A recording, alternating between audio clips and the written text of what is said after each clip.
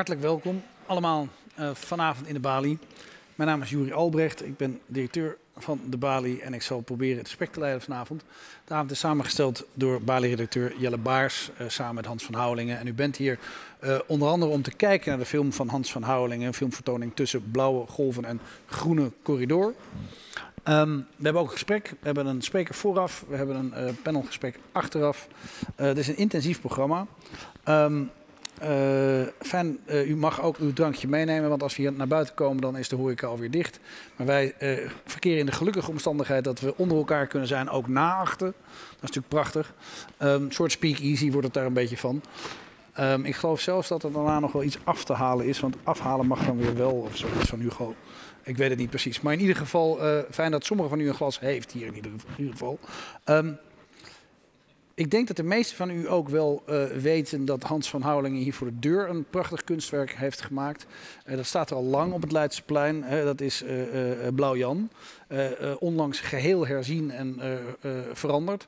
En daarmee is het Leidseplein één groot kunstwerk van Hans van Houwelingen geworden. En ik kan u zeggen, ik maak er dagelijks gebruik van. Het is een wereld van verschil eigenlijk, het Leidseplein. Sinds dat de verbouwing af is. Natuurlijk ja, nogal Wieders, want het heeft jaren overhoop gelegen.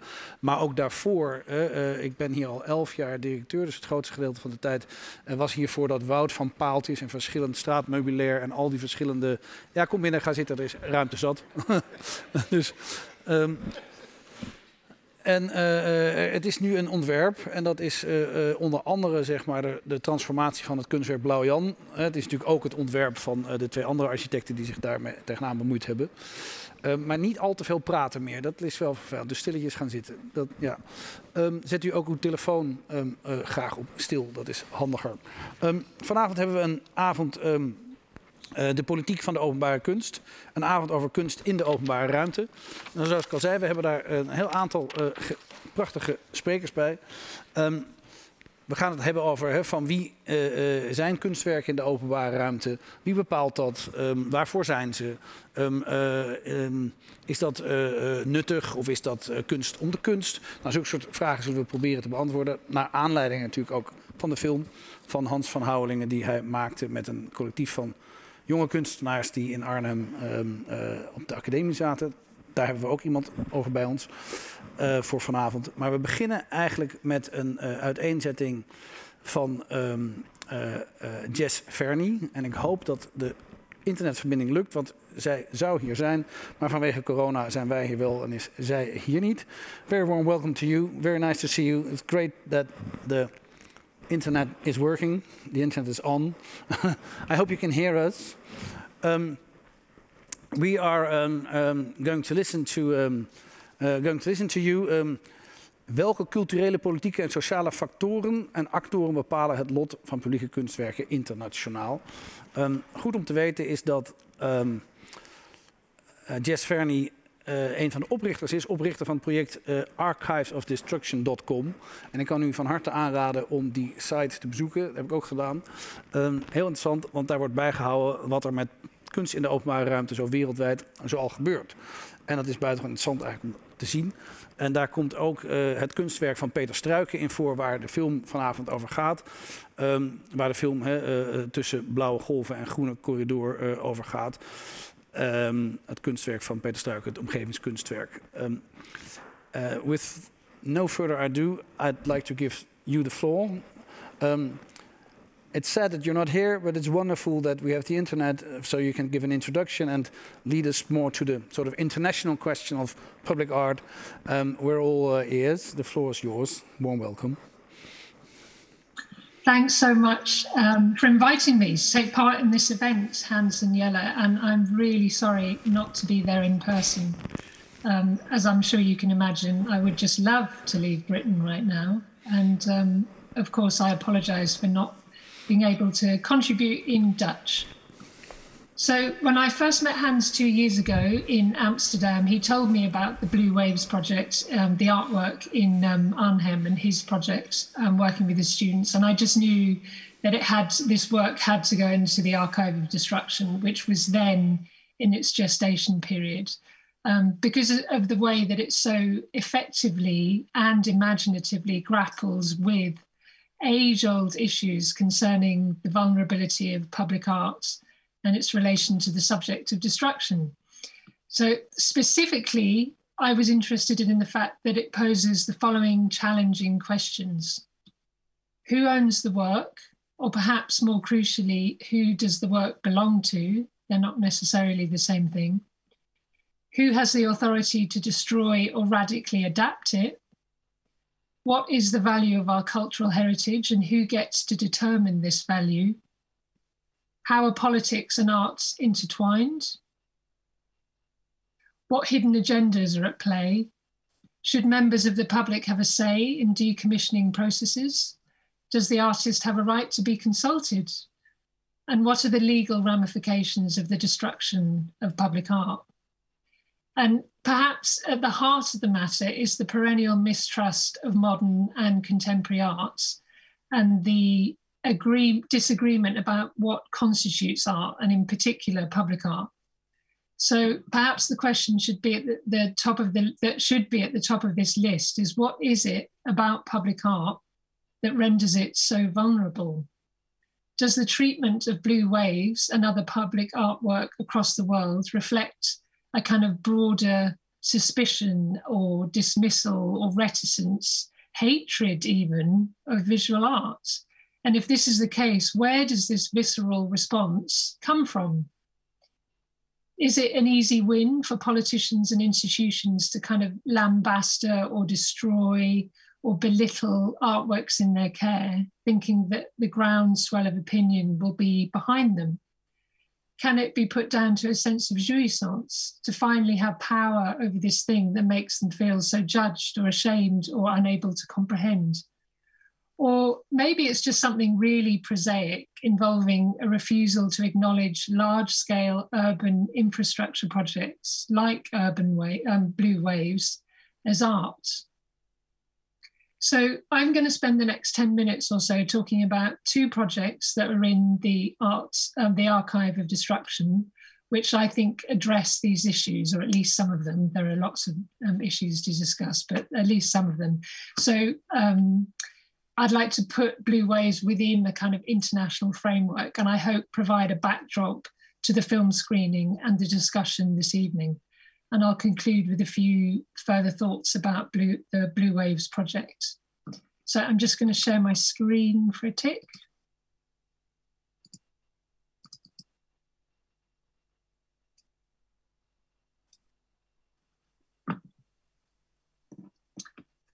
So um, this is one of my favorite projects um, or artworks in the archive. And I think there are lots of crossovers or potential crossovers with Blue Waves. Um, it's by the Polish artist Joanna Rajkowska, and it's called Greetings from Jerusalem Avenue. And it was made in 2002, so it's almost 20 years old now. And it's a fantastically strange, long running story that reveals the ways in which politicians have tried unsuccessfully to destroy a work of art and how a tenacious artist has maintained control of her work.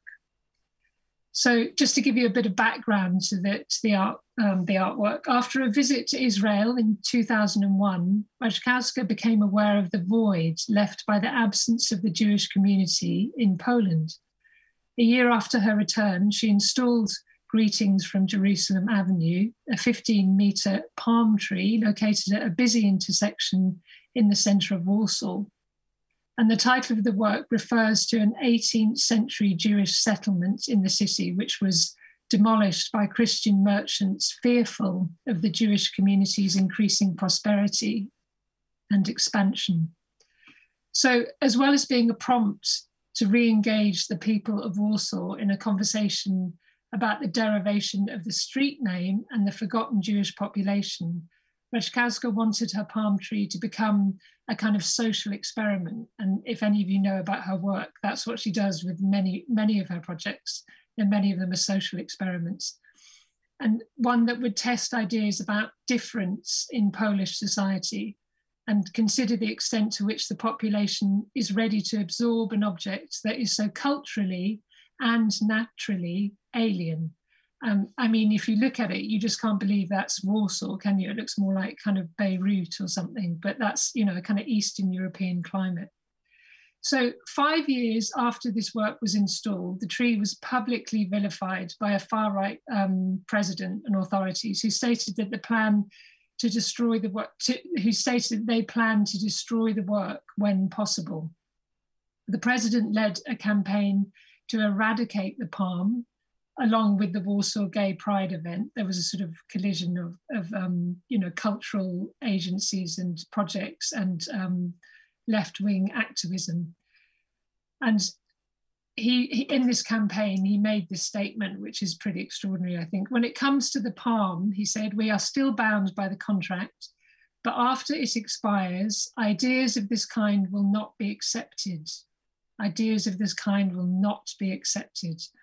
So Raczkowska, she's an incredible woman, um, set up a palm protection committee to call upon the council to use restraint, to cooperate, and to redefine its status as non-road object to public sculpture. And I think it's really interesting that the status of this, uh, of this artwork at that point was non-road object, which I think is almost maybe more beautiful than artwork. But anyway, um, there were long running periods when the artwork had no administrative status within the city and it wasn't owned by anyone. Um, and I'm just going to quote from this book that Joanna Raczkowska has written about her practice. It's kind of incredible, this book, but a little bit is about this artwork. So I spent months trying to negotiate the loan of the palm tree to the city with the Municipal Road Authority. But when the contract was ready and bilaterally accepted after dozens of meetings, corrections, and appendices, it turned out that for whatever obscure reason, the city was unable to sign it. The situation was like something out of Kafka's The Castle. To do anything at all with the palm tree, we had to gain permission, and gaining permission for an illegal object was impossible. Um, and, and this book tells the story of Raczkowska's erection of scaffolding around the palm tree with a banner that read, The palm tree is waiting for a contract. And these are just some of the various photos of the artwork being restored and um, covered up. Um, and you can see that at one point all the leaves had fallen off and they had to be replaced. That's the artist replacing them. And then also people make kind of public offerings and statements and stories at the bottom of the, the tree. So the work was ultimately appropriated by the general public, who now kind of get married and take photos and make arrangements to meet friends underneath this tree it's been absolutely kind of assimilated into the culture of the city. And it's become a kind of symbol, very much like blue waves, I think, um, particularly amongst misfits and those opposing the government. And as Raczkowska says in her book, at that point, it was no longer ownerless. And this links to the distinction I made earlier about who owns the work and who it belongs to. And many of the leaves have now been damaged through air pollution, and the top has turned a limp ashen grey, as you can see in this photo. In 2019, Raczkowska established Death of the Palm Tree, a project commissioned by climate change groups and supported by the Museum of Modern Art in Warsaw to tackle the issue of the impending climate catastrophe.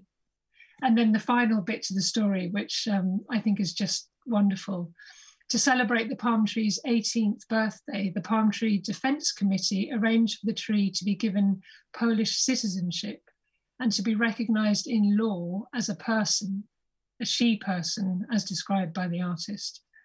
So for now, the tree is secure in its location as well as its identity. Um, and obviously, the work moved from the status of non road object to person kind of missing out the, the, the title of artwork, which I think is rather fantastic. I'll move quickly on to the second project. This is Robert Smithson's partially buried woodshed in that he um, made in 1970 in Kent State University in Ohio. 20 truckloads of soil were dumped onto the central beam of an empty shed until the structure cracked. Before Smithson left the campus, the work was officially transferred to, to the university in the form of a letter and valued at $10,000. So he made it really explicit to the administration that this was an artwork um, that had value and that needed to be cared for. Smithson said that he expected it to go back to the land and expressed an interest in the way that the work would increase in meaning while its physical properties collapsed. This kind of slow destruction was at the heart of much of his practice. Now, obviously, totally unexpectedly, a few months after the work was completed, a student protest against America's involvement in the Vietnam War took place on campus. This was a hugely febrile moment in contemporary American politics, where support for the war was waning and protests by an increasingly vocal younger generation were taking place across the country. At Kent State University, National Guard soldiers shot at unarmed students, killing four and wounding nine. And this was a massively shocking, really deeply traumatic event that was commemorated on partially buried woodshed with the words, you probably can't read them here, I'm not sure how big your screen is, but it says May 4, Kent 70, which is the date of the shootings, the murders, and um, the place and the year. It was painted on the central beam, presumably by students forever linking the work of art to the breaking point of the beam to the, and the cultural shift that many consider the Kent State shootings to represent in history. So after Smithson's death, just three years later in 1973, his widow, the artist Nancy Holt, lobbied to have the remains of partially buried preserved. But in 1975, some of it was burned by arsonists. And despite their obligations to preserve the work, university officials considered the remains an eyesore, as well as an uncomfortable reminder of a fraught historical moment. So, over the ensuing years, groundkeepers kind of removed all of the pieces that fell to the ground, um, which I think um, could be considered a kind of passive aggressive maintenance technique. And today, what remains um, is a kind of hidden is hidden in a grove of trees planted to obscure the ruin. And the site is surrounded by a new science building, a football field, and a parking lot. And it's become a kind of secret space by, used by students for illicit activities. I'll stop sharing my screen there. So both of these stories involve attempts by politicians and institutions to demean or destroy an artwork and engage in convoluted, obfuscating administrative processes, as was, as I understand it, was the case with um, Blue Waves. And in addition to this, Blue Waves is also a perfect signifier for our 21st century condition that's characterized by the advancement of neoliberal education systems the ransacking of the state by private business, rampant urban development processes that are complicit in erasing history, and an increasingly right wing populist political landscape that's skeptical about the worth of culture. And Blue Waves, I think, is a great artwork. It's bold, it's beautiful, it's insistent as well as useful, um, and has become an icon for the city of Arnhem it encapsulates the fraught, complex nature of public art commissioning in the 21st century um, and the 20th century, in fact. But the thing I find most useful about the film you're about to see, and this project in general, is that it's the work of an artist, Hans van Houwelingen, working in collaboration with his students. Hans has spent decades thinking through the relationship of arts and culture to politics and this project is a generous, generative, radical model, which is not only an act of solidarity and intellectual and artistic commitment, but also, I think, a great model of political and pedagogical activism and this is a subject that I find, you know, really interesting. This and I, and a lot of the projects in the Archive of Destruction address this issue of artists taking on other artists' work. I know we haven't got time to discuss that now, but anyway, um, it will become clear when you watch the film that there are no identifiable structures regarding artists' rights and the decommissioning of public artworks in the city of Arnhem. A situation that is, of course, um, replicated in cities across the world. Decisions are made on a flimsy case by case basis where vested interest and opportunism are often employed to push decisions through a convoluted political and administrative system. And there are many revealing instances to look out for in this film. But for me, um, the one that I found most surreal is the moment when the students interview a lawyer who informs us that Dutch law dictates that when an artist agrees to part demolition of their work, they can be included in discussions about the project as a whole. However, if they refuse to play ball and insist that the original artwork is retained, the Supreme Court rules that the artist's have rights have not been breached and that demolition can go ahead. And what becomes clear is that even though Peter Strucken made a public statement emphasizing he was only too happy to enter a dialogue about the redesign of the work, the developers constructed a narrative around the artist's response, stating that he vehemently opposed any changes to his design and that in fact he prefers to let his artwork disappear.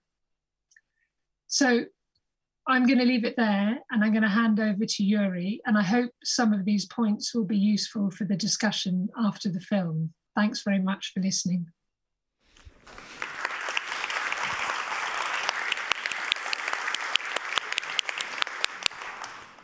Jess Fernie, uh, thank you very much for this wonderful introduction, um, giving it a global perspective and also very precise um, observations on what a sort of discourse or issues could be at stake if you talk about these uh, works of art in the public space.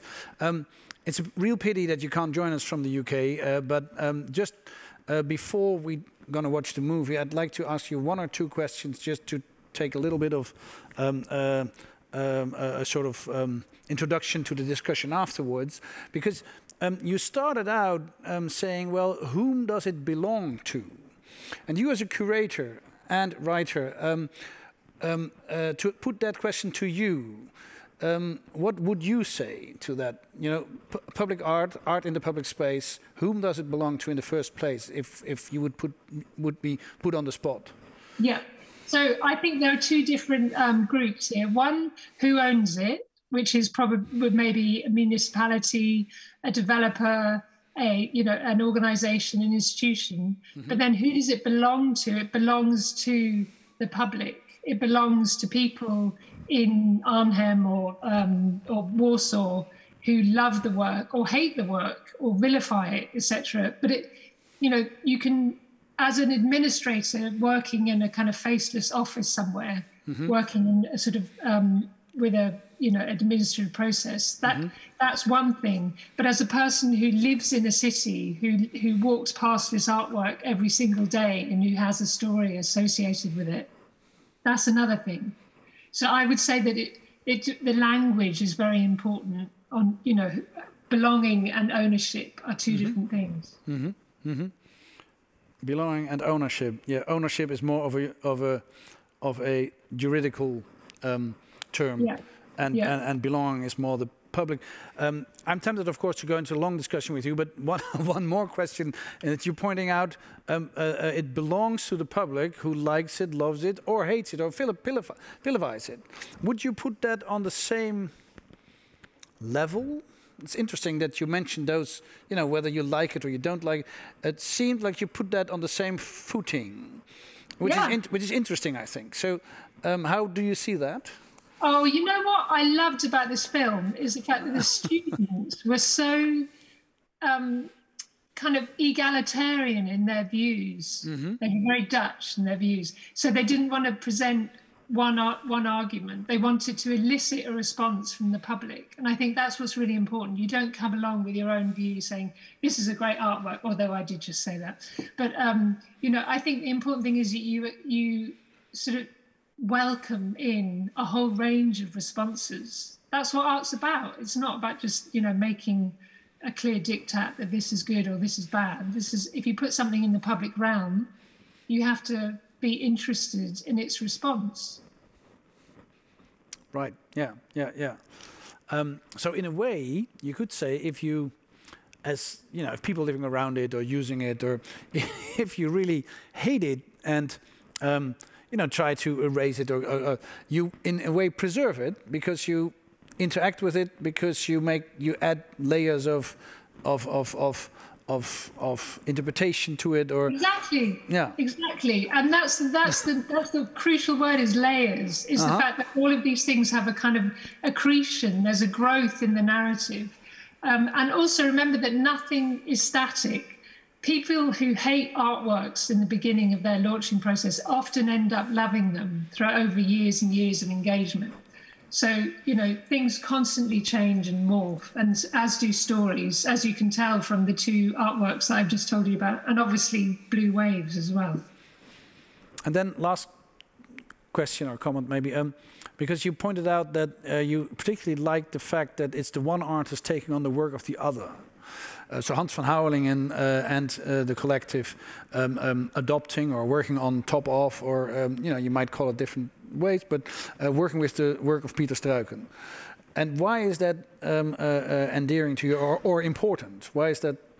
What's well, you know what? I think it's quite rare what Hans has done. There mm -hmm. are lots of artworks that I can think about that have tried to be saved by other groups or um, institutions or um, organizations. But I can't think of many artworks where an artist has committed to making this sort of public statement and an artwork mm-hmm. about an existing artwork. Do you see what I mean? I think it's a really interesting model. And yeah. as I said, it's really generous and really generative. All right. All right, I got, I got your point. Thank you for elaborating on that. Uh, wonderful to speak to you um, and for this upbeat uh, introduction to uh, uh the film we're going to watch now and uh, the discussion afterwards. And thank you very much and hope to see you somewhere in the future in the flesh in Amsterdam. Thank Me you. too. Yes, yes, Fernie. bye. Bye bye.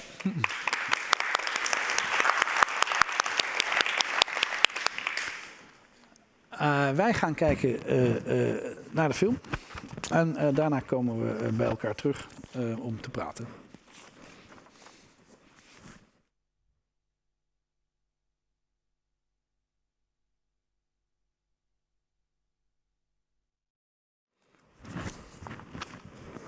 Ja, um,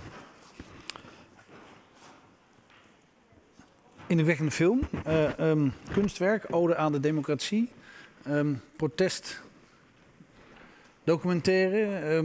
Uh, ik wil eigenlijk even beginnen met praten met uh, de, twee van de gasten die we gevraagd hebben om uiteindelijk, u ziet het, er staan een ontzettende hoop stoelen.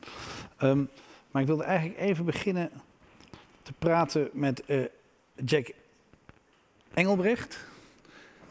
Um, neem een van de stoelen graag, hartelijk welkom.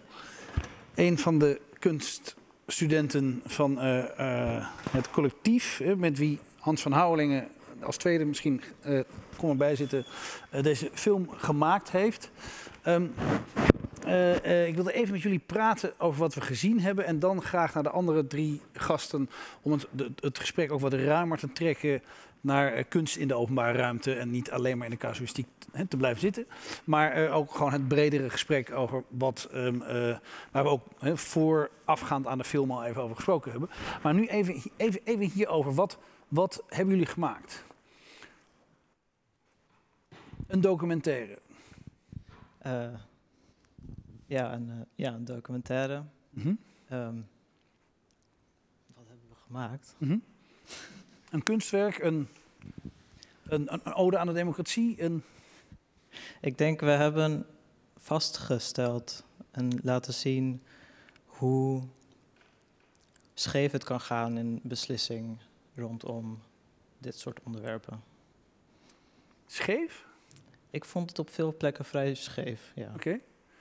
Um, kwam dat scheef niet uiteindelijk uh, hartstikke recht uh, op zijn poten terecht? Of? Ik denk dat de scheefheid niet afhangt van wat de uiteindelijke beslissing is, mm -hmm. maar tot hoe die is gekomen. Mm -hmm. Ik denk totdat wij ons gemoeid hebben met het onderwerp en mensen gingen bevragen en filmen en zo, was zeg maar het grootste cadeau voor de mensen die het weg halen, was eigenlijk een algehele desinteresse in het onderwerp. Want ik denk, als iedereen die involved is in een kwestie, soort van er een echte mening over heeft, of het nou positief of negatief is, dan krijg je zeg maar een, een eerlijk spel. Maar als de meeste mensen die ermee bezig zijn, er niet echt mee bezig zijn en gewoon een keuze moeten maken omdat er nou eenmaal iets gekozen moet worden, dat is wanneer het scheef wordt. Want dan krijg je dat één partij hard speelt en dat er eigenlijk niet een tegenspeler is. Ja, ja. Ehm, en wat vind je dat het geworden is, hè, waar we hier nou naar hebben zitten kijken? Wat, heb je, wat hebben jullie gemaakt? Is dat het verslag van het proces of is dat, hoe, hoe, hoe moet ik dat zien? Ik denk dat we, we hebben het vastgelegd, maar we hebben ook, ehm, we hebben ook eigenlijk heel veel mensen een beetje wakker gemaakt. Zo van, dit gebeurt, je, je kan niet, niet geïnteresseerd zijn, je moet gaan kiezen van, hou je van dit werk, hou je niet van dit werk, wil je dat het moet blijven, wil je niet, maar zeg maar uh, lauwheid, dat is niet acceptabel, zeg maar. Mm Je kan er niet onverschillig ja, tegenover blijven staan. Ja, ja, ja. ja Hans, um, dezelfde vraag. Wat, wat, wat hebben jullie gemaakt? Ik zie op aftiteling zie ik dat, uh, nou, dat jij er al uh, dingen aan gedaan hebt. Wat, wat is dit? Eigenlijk twee antwoorden. Mijn, mijn um, een persoonlijke wens was om, een, om een, een, een, documentaire te maken over hoe er met cultureel erfgoed in de openbare ruimte wordt omgegaan. En dan met name gericht aan, laten we zeggen, een, een politiek klimaat wat steeds neoliberaler wordt, waarin cultuur steeds minder een rol van belang speelt en waarin politici steeds minder geïnteresseerd zijn in kunst überhaupt, maar zeker ook in hoe kunstenaars in de stad iets kunnen betekenen. En aan de andere kant, en tegelijkertijd uh, de constatering dat jonge kunstenaars uh, nauwelijks meer een weg zien of kennen om zich met de stad te bemoeien. De instituten die daarvoor waren, zoals bijvoorbeeld in Amsterdam had je SCORE, die instituten die. kunst in de openbare ruimte, die komt er in voor. Ja, ja. dus de, de, er is een, een klimaat geweest waarin de route naar de stad redelijk zichtbaar of toegankelijk was. Nog steeds wel moeilijk. Maar die Gaanbaar voor kunstenaars. Ja, die weg is, uh, is steeds uh, lastiger geworden. En wat je nu uh, ziet bij jonge kunstenaars, tenminste dat denk ik te zien, is dat er nauwelijks nog een notie is van dat kunstenaars zich met de stad kunnen bemoeien. Dus ik wilde een film maken die appelleert aan enerzijds een politiek klimaat waarin die kunst in de openbare ruimte nauwelijks meer ehm, van belang wordt geacht. Als wel een film die appelleert aan jonge mensen die die route naar die stad willen leren zien of ontdekken. Mm Oké, maar beide geven jullie nu antwoorden op mijn vraag. Dat is een hele simpele vraag. Wat voor ding hebben wij gezien? Was dit een kunstwerk? En er komen allerlei programmatische antwoorden voor jullie, die ik heel interessant vind overigens. En daar, daar, hoe de samenleving in elkaar zit en of de toegang wel goed geregeld is. Dus programmatisch. Um, en of dat je je niet onverschillig mag opstellen ten opzichte van. Allemaal waardevol. Toch nog een keer. Kijken we hier naar een kunstwerk of kijken we hier naar een pamflet? Nou, ik, had, ik had er twee, hè, zou ik zeggen. Mhm. en, uh, ik, wat, die, wat, wat het, uh, ja, wat mij betreft is het een kunstwerk, maar wat het laat zien is... Kijk, normaal gesproken kijk je naar een kunstwerk... en dat kunstwerk wordt gewaarborgd door instituten, door mensen, door conservatoren... door klimaatbeheersing. Weet je, dat, dat een kunstwerk is gewaarborgd in de samenleving, zou je kunnen zeggen. Nou, dat geldt in, binnen een museum... Uh, uh, op een evidente manier. Maar in kunst bij de kunst en openbare ruimte is dat veel minder evident. En dit is een kunstwerk, een film, een documentaire, noem het maar.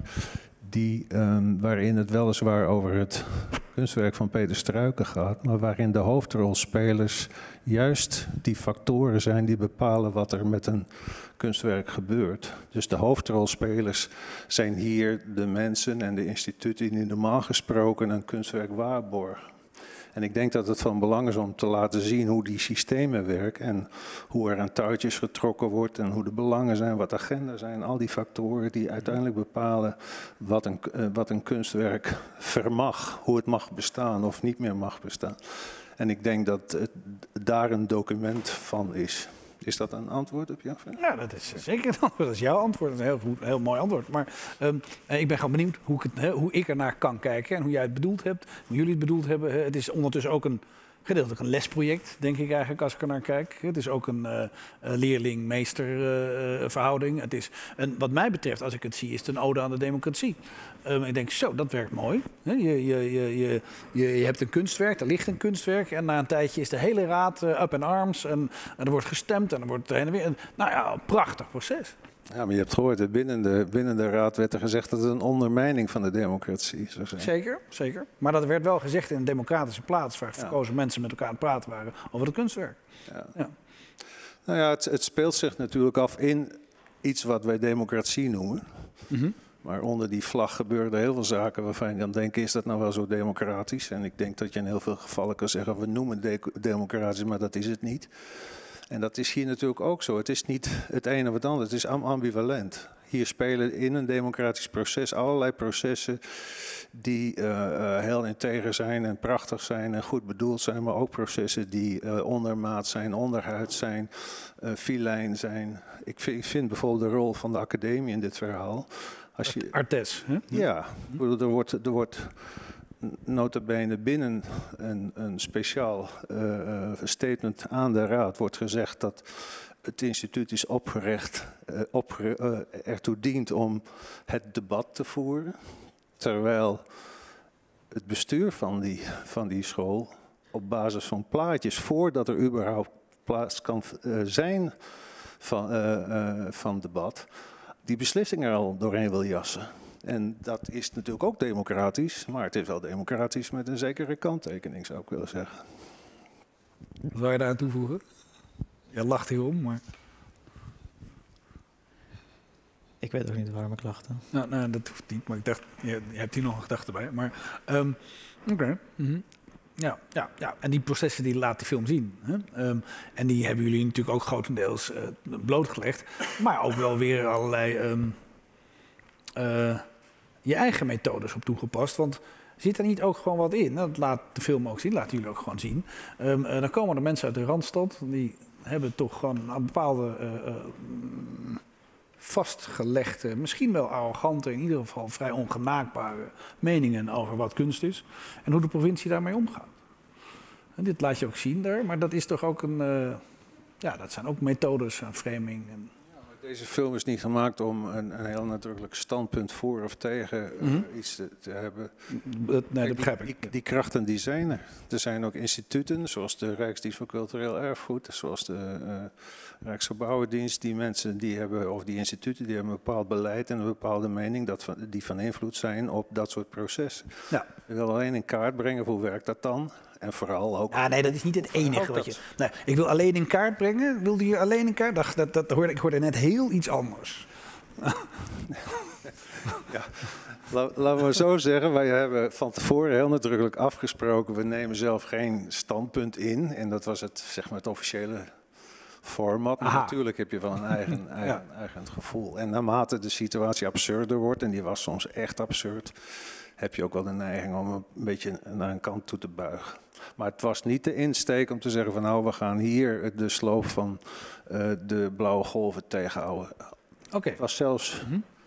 eigenlijk uh, voor ons een enorme verrassing dat die, uh, die brief die het artesteam naar de raad heeft geschreven gehonoreerd werd. Dat werd met een motie met één stem verschil werd dat aangenomen. Anders waren de blauwe golven gesloopt geweest. Mm -hmm. En wij waren, althans ik was er steeds van uitgegaan dat deze documentaire zou eindigen met een bulldozer die de boel op zou vegen. Dus dat deze studenten in staat waren in een democratisch proces, uh, een, ook, ook, al heeft de, de bestuur daar afstand van genomen, een, een, een hele een dominante rol te spelen, een cruciale rol te spelen. Ja, dat is wel, nou, ik ga met je mee. Dat is een, een zegeviering van de democratie. Ja, nou, ja, nou, dat, is, dat, is heel, dat is een heel interessant proces. En, uh, uh, en ik word er eigenlijk heel optimistisch van over de democratie. Terwijl ik jullie hoor zeggen, nou, poeh, wat een smerig proces. Maar... Ja, ik, uh, ik was heel erg bezig de hele tijd met graven of proberen informatie uit achterhalen. Voornamelijk naar wanneer het voor het laatst was schoongemaakt. Ja, dat zie je in beeld, hè? de schoonmaak één keer. Ja, ja. Een struggle was dat. En ik, ik ging er niet in met ik ben voor iets of tegen iets per se. Ik, ik, was, ik hield wel van de blauwgolven, maar ik ben vrij neutraal op dit soort gebieden. Mhm. Maar ik merkte wel dat met dat op een gegeven moment begon ik me op een manier gemanipuleerd te voelen. Omdat ik niet, omdat informatie die belangrijk was om een mening te vormen, die, die kon ik gewoon niet achter. Tot op de dag van vandaag weten we niet hoe vaak het is schoongemaakt. Het is gewoon nooit boven water gekomen. En op heel veel andere gebieden, je hebt wel een presentatie van de Groene Corridor, prachtig vormgegeven. En dan van de blauwe golven of niet, of het was een, beetje een wolkige dag, een foto gemaakt tussen de motregen door, zeg maar. Dat je dan denkt van ja, je wilt zo. Als, dat is dan toch wel de recalcitrantheid in mij. Als iemand heel graag wil dat ik van één plan ga houden, dan ga ik toch denken van ja, zeg, wat is er. Waar, waarom moet je zo hard werken om te zorgen dat dat andere niet, zeg maar. Boven water of zichtbaar is. Ja. ja. ja. Bovendien, het, kijk, deze film eindigt nu in een soort van zegeviering voor de, voor de cultuur. Hè? Want het werk blijft behouden en Peter Struik is tevreden. Is blij. Hm? Maar je hebt ook gezien hoe fragiel het is. Op, op welke kantje boord dingen, dit soort processen berust. En dan kan je je afvragen of de waarde van zo'n kunstwerk wel van dat soort bijna incidentele uh, toevalligheidjes binnen dat democratische proces af mag hangen. Mhm. Weet je, als, als er op die manier uh, in Italië met het werk van Bernini zou worden omgegaan, dat met elke vier jaar iedere gemeenteraadsverkiezing de kans loopt dat zo'n fontein weer naar de bliksem geholpen wordt. En je noemt dat democratisch, want dat bestuur dan was, was toevallig dan gekozen, weet je wel. Dan kan je zeggen, nou dat is democratisch. Dan kan je op zijn minst concluderen dat dat voor de cultuur en de laat maar zeggen, de betekenis van cultuur niet een democratisch proces is dat erg wenselijk is. Of in ieder geval waar de cultuur erg kwetsbaar van wordt. Ja, dat is desastreus. Ja, ik ik, en, dan, en dan ga ik niet meer met je mee. Ik vind dat ondemocratisch. Mhm. Je vindt het vernietigen van cultuur. Het cultuur als continu kwetsbaar laten zijn is. Nou, misschien moet je het wel zo formuleren. Als je ziet over welke tijdspannen cultuur uh, uh, bestaat en zijn betekenis genereert, dan is de, de, het werd eigenlijk in die film ook al gezegd, dan is de tijdspanne van een uh, bestuurder, wat meestal vier, vier jaar, vier jaar is, dat is niet toereikend om het, laten we zeggen, op basis daarvan een, dat kunstwerk wat een veel langere tijdspanne heeft te, te, te laten slopen. Ja. Daar moet meer overheen gaan. En Simone die heeft het ook al gezegd, de Rijksdienst van Kunst en Erfgoed heeft niet veel macht, maar zou, het zou fantastisch zijn als we er veel meer over zouden debatteren. En dat heeft daar alles mee te maken. Oké, ehm, ik ga graag over naar de andere drie gasten ook, die, uh, die we nu noemen. Uh, even vraag aan jullie en dan vraag ik ze ook aan de andere drie. Um, wat is nou dan precies de, de waarde of de rol die publiek en de, die kunst in de publieke ruimte moet hebben? Ik denk dat het moet iets zijn wat, ik weet niet wat het Nederlands hiervoor is, maar wat you can take for granted. Mm En alles wat in je eigen stad is, dat op een gegeven moment zie je dat niet echt meer of zo. En ik denk dat dat, dat, dat niet per se een slechte zaak is.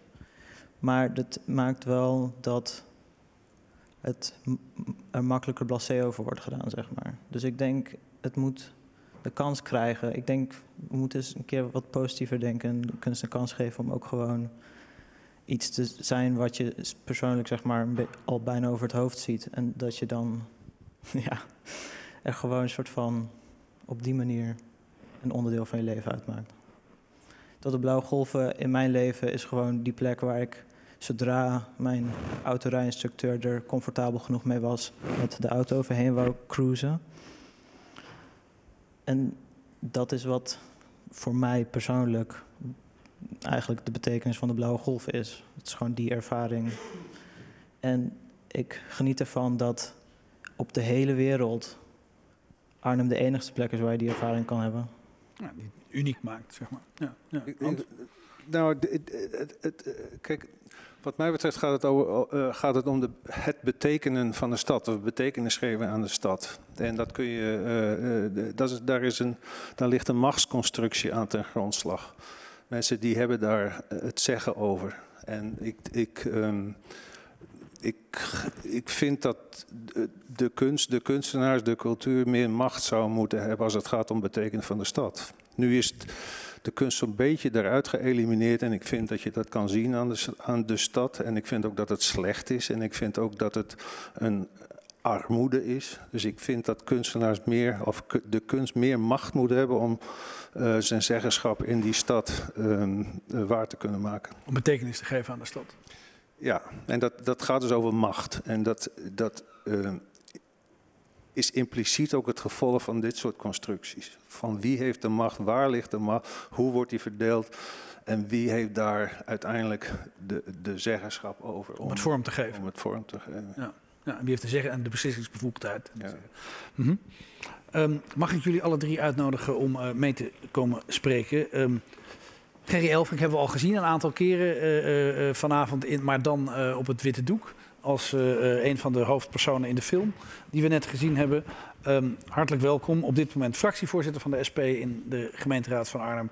toen voornamelijk wethouder in de gemeente Arnhem. Hartelijk welkom. Dankjewel. We hebben ook uitgenodigd uh, Simone Vermaat ook in de film te zien. Uh, hartelijk welkom ook. Uh, collectieadviseur en conservator voor de Rijksdienst voor Cultureel Erfgoed. Dat zagen we ook in beeld. Um, hartelijk welkom ook. En Onno van der Muizenberg, die we niet gezien hebben in de film. Nieuw gezicht hier aan, in het panel. Beleidsadviseur Kunst en Cultuur voor de gemeente Amsterdam. Hartelijk welkom, alle drie. Um, misschien even... Um, ik ga proberen niet te veel in die... In die, in die casuïstiek van die film te duiken, maar iets daaruit te, komen. Um, maar toch even, we hebben net geluisterd naar de auteurs van de film, de kunstenaars. Of, ik probeerde erachter te komen of nou journalisten waren of kunstenaars. Ik kwam er niet helemaal uit. Maar uh, feit is wel dat, uh, dat u een hoofdrol speelt in de film. En ik, vind dat, ja, ik vind dat, je daar, dat wij daar wel echt complimenteus over kunnen zijn. Over de openheid. En die, het, lijkt, het lijkt me nogal wat om mee te doen in zo'n proces waar uh, de krachten uh, nog, uh, de kaarten nog helemaal niet geschud zijn. En um, waar voortdurend blijkt dat toch een klein creatief groepje de kaarten weer anders weet te leggen. Dat, eng, doodeng, hartstikke mooi. wat, wat vond u ervan? Nou, ik vond het heel erg interessant en ook leuk. En ik vind ook het resultaat ja, fantastisch. Um, dus ik heb daar met veel plezier en ook wel overtuiging aan, aan meegewerkt. Ik heb dat ook met open vizier gedaan. Uh, ik ben het ook niet eens met uh, wat Jacques zegt, dat het het grootste cadeau zou zijn geweest aan degene die iets anders wilde op deze plek. Uh, ja, dat er geen, uh, geen protest zou zijn gekomen. Ik heb dat ook met Peter Nijenhuis, hè, aan wie de film is opgedragen. Ja. Is overleden, heeft zich, een Arnhemmer die zich enorm sterk gemaakt heeft voor de Blauwgolven. Ook tegen hem gezegd, ja, het, het zou vreselijk zijn als dit zou verdwijnen zonder dat, dat, dat, mensen daarvoor zouden, zouden opstaan. Ehm, als het gaat om democratie, dan vind ik wel, ja, hoe democratisch is het dan om een kunstenaar een uh, opdracht te geven die dat gewoon geheel naar eigen inzicht definitief mag invullen? Mm -hmm. Want je praat wel over de leefomgeving van mensen. Uh, waar het mij uh, in, ja, voor een belangrijke mate om gaat, zijn de buurtbewoners. Mm -hmm.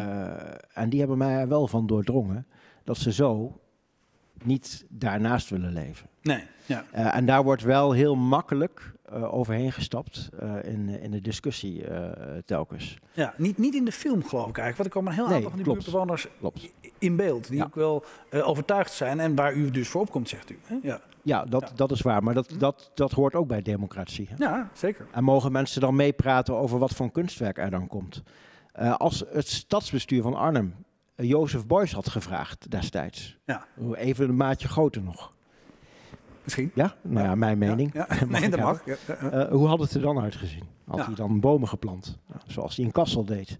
Nou, dat vind ik buitengewoon interessant. En uh, ja, dus ik vind ook uh, deze discussie heel erg, erg interessant. Um, um, alleen ik vind het, uh, want ik ben het met heel veel dingen eens die gezegd worden. En ook de waarden uh, die er uh, liggen en die bedreigd worden, ben ik heel erg mee eens. Maar ik vind de blauwe golven dan niet het beste voorbeeld voor die discussie. U vindt het gewoon niet zo mooi kunstwerk? Nou, nou, dat gaat niet om mij. Kijk, want ik, ik, heb, ik, ik leef mijn hele leven lang al met de blauwe golf. Ik kom er ook dagelijks langs. Ik weet ook hoe vaak het schoongemaakt is, want ik heb het zelf gezien. Dat ze daar met de Roundup aan het spuiten waren om het onkruid weg te Ontzettend rotspul is dat. Ja. ja. ja. Uh, met de hoge druk spuiten is het inderdaad één keer uh, schoongemaakt. En dat komt, het zijn betonklinkers. Dus als je die met een hoge druk spuit, ja, je spuit ze kapot. Het resultaat nu ook van de schoonmaakactie is dat alle betonklinkers gaan worden vervangen. Het gaat 10 miljoen euro kosten. Ja, 10 miljoen euro. Uh, ik probeer toch nog een beetje van de casuïstiek weg te blijven. Maar u zegt het. En wat ik heel interessant vind wat u zegt, en daar, daar kunnen we misschien even uh, ver, verder over praten. U zegt ja, maar kijk, die bewoners hè, die uh, hebben daarmee te maken. Er werd fijnstof genoemd. Ik kan me warmte, hitte, van alles. Ik kan me ook best wel wat bij voorstellen. Um, maar um, is het zo dat kunst zeg maar um, democratisch besloten moet worden? Hè? Dus dat iedereen omheen. Of, of is het toch zo dat je daar uiteindelijk een kunstenaar voor vraagt? Mhm. Nee, zeker, dat, dat, dat is waar. Alleen, het gaat niet alleen over kunst, het gaat over kunst in de openbare ruimte. Zeker. Publieke ruimte, en die is van ons allemaal als ja, het Ja, absoluut. Nou, ja. En dus heb je daar wel, als, tenminste naar mijn mening, een gesprek over met mensen. En moet daar dus ook altijd de optie zijn hey, dit is een waardevol kunstwerk, maar er spelen ook andere belangen. En ja, en dat kan er ook toe leiden dat ook een waardevol kunstwerk verwijderd wordt. Dat is gewoon een belangenafweging. En maar het dus afzonderen van kunst buiten elke discussie en heilig verklaren, uh, vind ik niet heel erg sterk en doet ook geen recht aan het kunstwerk. Het kunstwerk moet sterk genoeg zijn om voor zichzelf ook te kunnen spreken. Mhm. En dan is het ook niet nodig om allerlei verdachtmakingen uh, eromheen te creëren of dat er allemaal verborgen agenda's zijn of weet ik veel allemaal wat. Hier heel simpel wat mij betreft. Hè. Ik kan niet voor alle voorstanders spreken. Ik was ook niet gelukkig met uh, alle voorstanders uh, evenzeer. Um, en sommige tegenstanders vond ik erg goed, moet ik zeggen. Um, uh, in de discussie. Um, maar dat, ja. Uh, ja. Maar, ja, ja, maar u zegt uiteindelijk. Kunst in de openbare ruimte moet ook weer gewoon. kan tijdelijk zijn. Het, het kan veranderen. We moeten rekening houden met de gebruikers. En dan richten we hem weer anders in. Ja, als je een kunstwerk gaat aanleggen midden in een stad van hectares groot, hè, het zijn ja, meerdere voetbalvelden, ja, kom op, dan, dan moet je je op het moment dat je het aanlegt al en ontwerpt al realiseren dat als je het zo definitief ontwerpt, hè, want het is gewoon een definitief antwoord op elke vraag, mm -hmm. die ook in de toekomst dan zal gaan komen, ja, dan moet je je realiseren dat het wel eens weggehaald kan gaan worden. Ja. ja. ja. Hoe, hoe, kijkt, uh, hoe, hoe kijkt uh, u daarnaar um, vanuit de uh, collectie Rijksdienst voor het Cultureel Erfgoed, mevrouw Vermaat? Ik hoorde u zeggen, nou, het wordt echt wel te weinig beschermd. Hè? Die... Ja, het is niet beschermd. Het is zelfs niet beschermd. Het is niet beschermd. Ja. Dit soort kunstwerken in de openbare ruimte zijn in feite niet beschermd. Nee. Dat geldt dus niet alleen voor blauwe golven, maar dat is gewoon... Nou, dat geldt sinds kort, nou ja, sinds het besluiten van de Raad in Arnhem dan weer niet. Hè, maar, maar... Ja, de, het besluit om het, om het uh, uh, te behouden, maar daarmee is het nog steeds niet beschermd. Maar dat vind ik, een, dat vind ik best wel... Ik, ik dacht ook wel wat wist van kunst, maar dat vind ik echt een behoorlijk schokkende uitspraak. Het is gewoon niet beschermd. Nee. Het is altijd, Oh ja, dan, dan wordt het, nou ja, het, maar, ja. het is niet, uh, hoe zeg je dat? Nou, op het moment dat, kijk, als een kunstwerk, ik zeg het ook in de, in de documentaire, en dat zijn er maar heel weinig. Als een kunstwerk is aangewezen als rijksmonument of als gemeentelijk monument, dan geniet het bescherming. Ja. Uh, als het onderdeel is van een collectie, als er een stad is die zegt, uh, wij beheren voor onze stad een collectie kunst in de openbare ruimte en deze kunstwerken zijn onderdeel van deze collectie, dan is het beschermd, want dan is er ook duidelijk een eigenaar en iemand die de verantwoordelijkheid neemt voor het kunstwerk. Maar het is toch niet zo dat we mogen niet allemaal kapot slaan of zo, toch? Nee, dat mag niet, maar het ja. gebeurt wel. Oké, okay, maar het mag niet. Het mag. Nou ja, auteursrechtelijk mag het niet. Mag het niet. Maar jij als eigenaar, maar dat kwam ook aan bod. Als eigenaar mag je in principe, wel, weliswaar niet zonder dat aan te kondigen, een kunstwerk vernietigen. Want je tast de persoonlijkheidsrechten van de kunstenaar niet aan. Nee. nee. Dus vernietiging van een kunstwerk is in feite uh, makkelijker dan zeg maar, het ten dele uh, uh, aantasten. Ja. ja, en vindt u dat dus Hans van Houweling zegt, ja kijk, betekenis geven aan steden is belangrijk. Daar moeten we kunstenaars de ruimte voor geven. Of in ieder geval ook een stuk van de macht aan toebedelen. Ik, het zijn mijn woorden, maar ik vat ze geloof ik min of meer goed samen. Aan de andere kant, ja, het is openbare ruimte. Het is nogal een enorm gebied. Het zijn hectares hè, waar ook mensen last hebben van fijnstof en van alles. Er zijn andere belangen. Hoe, hoe, hoe ziet u dat vanuit uw vak? Zeg. Nou, zo'n kunstwerk komt er meestal niet zomaar. Mhm. Dus dat zo'n kunstwerk daar ligt, daar is ook een heel uh, democratisch proces, bij wijze van spreken, aan vooraf gegaan. Uh, zeker als het gaat om een kunstwerk wat uh, in opdracht gemaakt is van een overheid. Ja, ja, ja. Oké, dat, ja, ja. wat zegt dat? Wat zegt dat? Nou ja, dat wil niet zeggen dat je, uh, dat, dat niet kan veranderen of een visie op zo'n kunstwerk niet kan veranderen in de loop der tijd. Want die, die openbare ruimte die verandert continu. Ja. Um, maar uh, dat je, hoe zeg je dat, wel goed moet kijken op een gegeven moment, op het moment dat zo'n verandering aan de orde is. Van uh, wat is de context van dat kunstwerk, wat was de opdracht? Uh, in dit geval van de Blauwe Golf. Peter Struiken heeft een opdracht gekregen om een, om een soort verkeerskundig stedelijk probleem op te lossen. En dat heeft hij gedaan. Ja, dat heeft hij gedaan. Maar goed, een half mensenleven verder, misschien wel veel meer dan dat. Um, heeft Arnhem behoefte aan andere dingen? Nou ja, maar dan zou je wel nog e-, wel graag de, de, hoe zeg, terug willen ook van waar was dat kunstwerk ook weer voor bedoeld? Wat was de context? En dan kan je het vergelijken met andere plannen. Maar het wordt heel lastig vergelijken op het moment dat er een fantastisch plan ligt. Uh, en, uh, en daarnaast ligt een uh, verwaarloosd kunstwerk. Nou, en, maar u zegt, u zegt het, het, is dus niet beschermd. En um, terwijl ik naar ons, jullie zitten luisteren, hè, denk ik, ja, dus je kan eigenlijk zeggen, dus kunst is iedere keer af, in de openbare ruimte, iedere keer afhankelijk van de luimen, het populisme, om maar eens even het woord te gebruiken, van de verkozenen op dat moment. Nou ja, wie er op dat moment uh, verantwoordelijkheid neemt ja. of draagt voor ja, Dat is weer veel mooier. Ja, dan klinkt het opeens zo positief. Nou ja, maar het is vaak dus heel onduidelijk wie er verantwoordelijk is voor zo'n kunstwerk. Ja wie de eigenaar is, wie het onderhoud moet doen. En hoe vindt u dat het zou moeten zijn? Nou ja, je zou, uh, uh, daar zou als vakvrouw zeg maar. Wat... Ja. Um, ik bedoel, uh, enkele maanden geleden heeft de NS een sculptuur van Auke de Vries vernietigd. Um, daar ging een periode aan vooraf waarin zeg maar, de NS en de PTT en de projectontwikkelaar die eigenaar was van het gebouw jarenlang de hete aardappel naar elkaar toe hebben geschoven wat betreft onderhoud van dat kunstwerk. Uh, vergelijkbaar, tenminste reminiscenties met dit project? Nou ja, het is iets anders, ik zeggen. Want hier was wel duidelijk dat de, de, de, gemeente Arnhem in feite de eigenaar is. En in dit geval werd het eigenaarschap en dus de verantwoordelijkheid voor het behoud en beheer van zijn kunstwerk uh, continu doorgeschoven. Ja. ja. Dus het begint vaak al met dat helemaal niet duidelijk is. De, de vraag die um, um, uh, voor de, de, de, documentaire vertoond werd gesteld werd. Uh, het mooie onderscheid tussen wie is juridisch eigenaar en uh, be, wie, wie behoort het toe, vind ik een hele mooie vraag. Ja. maar het begint vaak wel met wie is er verantwoordelijk voor in juridische zin. En dat is vaak onduidelijk. Maar dan wie behoort het toe? Ja, dat zijn dan ook kennelijk de mensen die er betekenis aan geven door te gebruiken ervoor of er tegen te zijn. Ja, klopt. Ja. Maar ja, dat is uh, dus dan voortdurend onderhavig aan wisselende stemmingen. ja, uh, ja, ja maar, je, je, je, kruipt wel voor, maar oké. Okay, ja. ja. Nou ja, er gebeurt, er gebeurt hier ook iets politieks. En dat wil ik heel graag even benadrukken. Hier, nu, op dit ja, moment? Want okay. ja. Gerry Elfrink die zegt van ja, het is toch ook iets voor de mensen. De, wat de mensen ervan vinden, dat is van belang voor het bestaan van een kunstwerk. Ja. Maar in dit geval was het onderwerp van gesprek de, het onderhoud van het plein.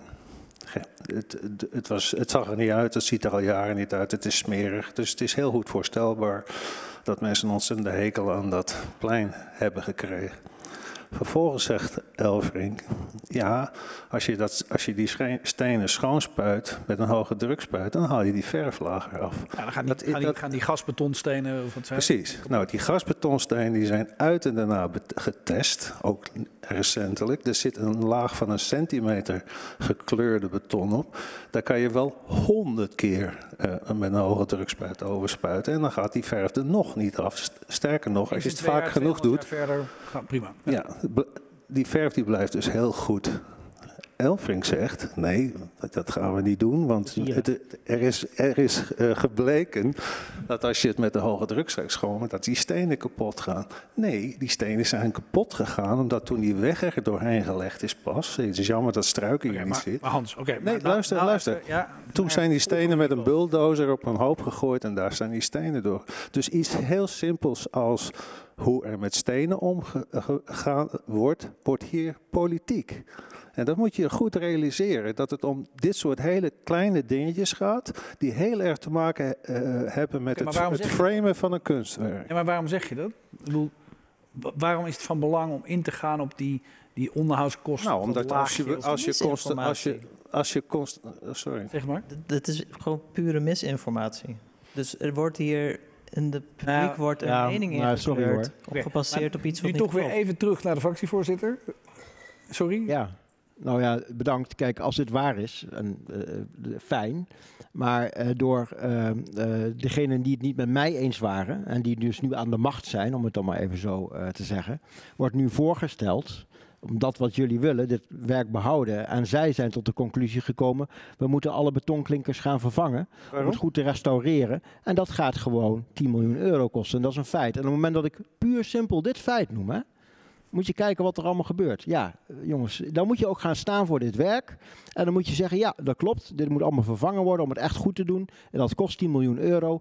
En dat is dit werk waard. Punt. Ga dan ook staan voor dat werk. Struiken, die de vorige keer erbij was, ook toen jij in het, eh, in het debat zat, dus je hebt het kunnen horen, heeft gezegd dat die stenen voor 80% kapot gegaan zijn door de bulldozers die die wegen hebben aangelegd. Die stenen zelf, als er met zorg mee om was gesprongen, waren ze niet aan vervanging toe. Maar ze zijn nu dus kapot, dus moeten vervangen worden want eh, hoe dan ook, uh, als ze overstaan met die bulldozers of met die hoge ze zijn moet vervangen worden. Ehm, eh, en daar zit toch iets in. Ik bedoel, als je dat vindt dat je dat moet behouden, en daar hebben we net een hele film dat is niet het dus een, meerderheid van de raad vindt dat. Dan moet je het toch gewoon... Voor, het dat, wordt politiek op het moment dat je zegt... de bevolking moet het mooi vinden. Dat is één, daar ben ik het ook mee eens. Mhm. De bevolking vindt het niet mooi omdat het steeds zo goor was. Dat is een heel groot aspect mhm. daarvan. En de vervanging van die stenen kost nu inderdaad heel veel geld. Maar dat is niet een gevolg van het schoonspuiten van die dingen, maar dat is het gevolg van die bulldozers. Dus dat maakt het heel politiek. Ja, ja, ja. ja, ik, vind het, ik, vind het, mooi wat jullie hier, het laatste woord hierover. Dan wil ik toch nog even verder naar het gesprek over kunst in de openbare ruimte, maar zeg het maar. Het gaat er niet om dat ze vervangen moet worden, het gaat om de implicatie die aan vastzit. Want als het is vanwege de bulldozers, dan hoeven ze één keer vervangen worden. Maar als de connectie wordt gelegd van ja, het heeft met het schoonmaak te maken, dan zou het dus betekenen dat elke keer dat het schoongemaakt moet worden, dat het dan opnieuw. Ja, ik, ik, um, ik ga toch weer even. Kijk, deze het eens is interessant, want dit is allemaal politiek. En volgens mij maakt je eigenlijk een ander punt, uh, Hans, als je zegt: kijk, de omgang met die stenen is van belang. Dus je moet weten als kunstenaar welk materiaal je gebruikt. Je moet daar vakmensen bij hebben die weten hoe je met een kunstwerk omgaat. Ik vind... Maar waar ben je nou zo boos over? Ik ben helemaal niet boos. Ja. Je dus... nee, ja. ik, ik zeg alleen maar, in een ogenschijnlijk debat, mhm. een neutraal debat waar argumenten voor en tegen zijn, worden de dingen gezegd en worden de dingen beweerd en uh, argumenten aangevoerd die ogenschijnlijk ook plausibel zijn. Maar daar zijn net nuances in aan te brengen die het hele debat een hele andere richting inbrengen. En dat spel van heen en weer pingpongen van eh, die argumenten betreft een hele bevolking, in dit geval de bevolking van Arnhem, want die wordt meegenomen in een soort framing van wat er aan de hand is daar. En dat is een politiek spel. En dat gaat het om de kwaliteit van de stenen, maar dat wordt een politiek spel. Ja. Ja, mooi, dat wil ik alleen maar zeggen. Het is toch prachtig dat daar zo'n debat over plaatsvindt en dat de hele bevolking erbij betrokken is.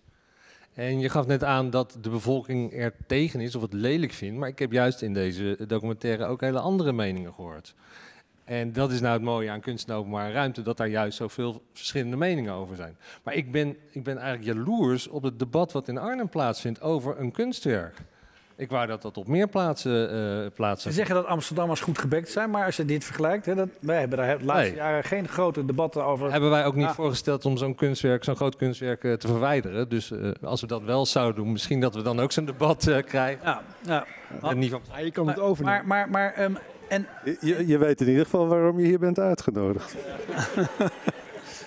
en die, ehm, die, dat idee van die, die kunst in de openbare ruimte, hè, daar hebben we in Amsterdam ook heel wat van. Uh, we hebben een hele metro aangelegd. Uh, daar bent u ook grotendeels, voor de kunst tenminste, uh, mede verantwoordelijk voor geweest. Hè, de, de, kunst in de metro, in de openbare ruimte van de metro. Is dat openbare ruimte, die metro? Ja, publieke ruimte. Zo, publieke, ja. Ja, ja, ja. Is die kunst beschermd in de metro? Ik maak me opeens zorgen als ik hoor dat... Nou, dat is een interessant geval, want daar ging de discussie natuurlijk net ook over. Ja. Daar hebben we ook heel goed over nagedacht bij de opdrachtgeving aan de kunstenaars. En, en dat we zouden gaan werken met kunstwerken in de stations. Want de stations hebben natuurlijk een functie. Ja. Uh, ze moeten uh, passagiers vervoeren, er moet een metro doorheen kunnen. Maar daar kan ook wel eens wat aan veranderen in de loop der tijd. Ja. Um, dus we hebben goed nagedacht, hoe gaat dat nou met die kunstwerken? Als we die daar uh, realiseren, kan het best wel zijn dat over 10 jaar, 15 jaar, 20 jaar er toch anders tegen aangekeken wordt. Dat er ergens een doorgang moet komen waar we die nu nog niet bedacht hebben.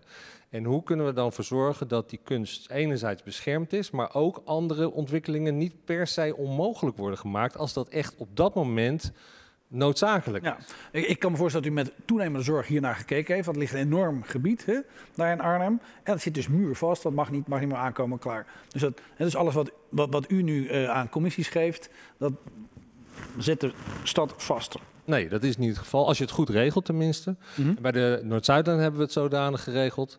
Uh, dat we hebben gezegd van... Nou, we hebben aan de kunstenaars gezegd van... we willen kunstwerken die het gewoon lang volhouden. Die dus interessant blijven voor lange tijd... maar die ook qua materiaal echt uh, uh, lang vol kunnen houden. Dus zorg ervoor dat dat goed wordt gemaakt. Wij willen dat het in principe 30 jaar daar kan blijven. En wie weet nog wel langer. Maar we hebben ook in het contract gezegd dat we gezet dat wij het recht hebben als gemeente om na tien jaar het kunstwerk eventueel te verwijderen. Als dat noodzakelijk mocht en zijn. verwijderen, is dat kapot maken, weggooien of is dat, uh, wat is dat? Nou ja, dat, daar ging natuurlijk net de discussie ook over van haak je er een stukje vanaf of haal je het helemaal weg.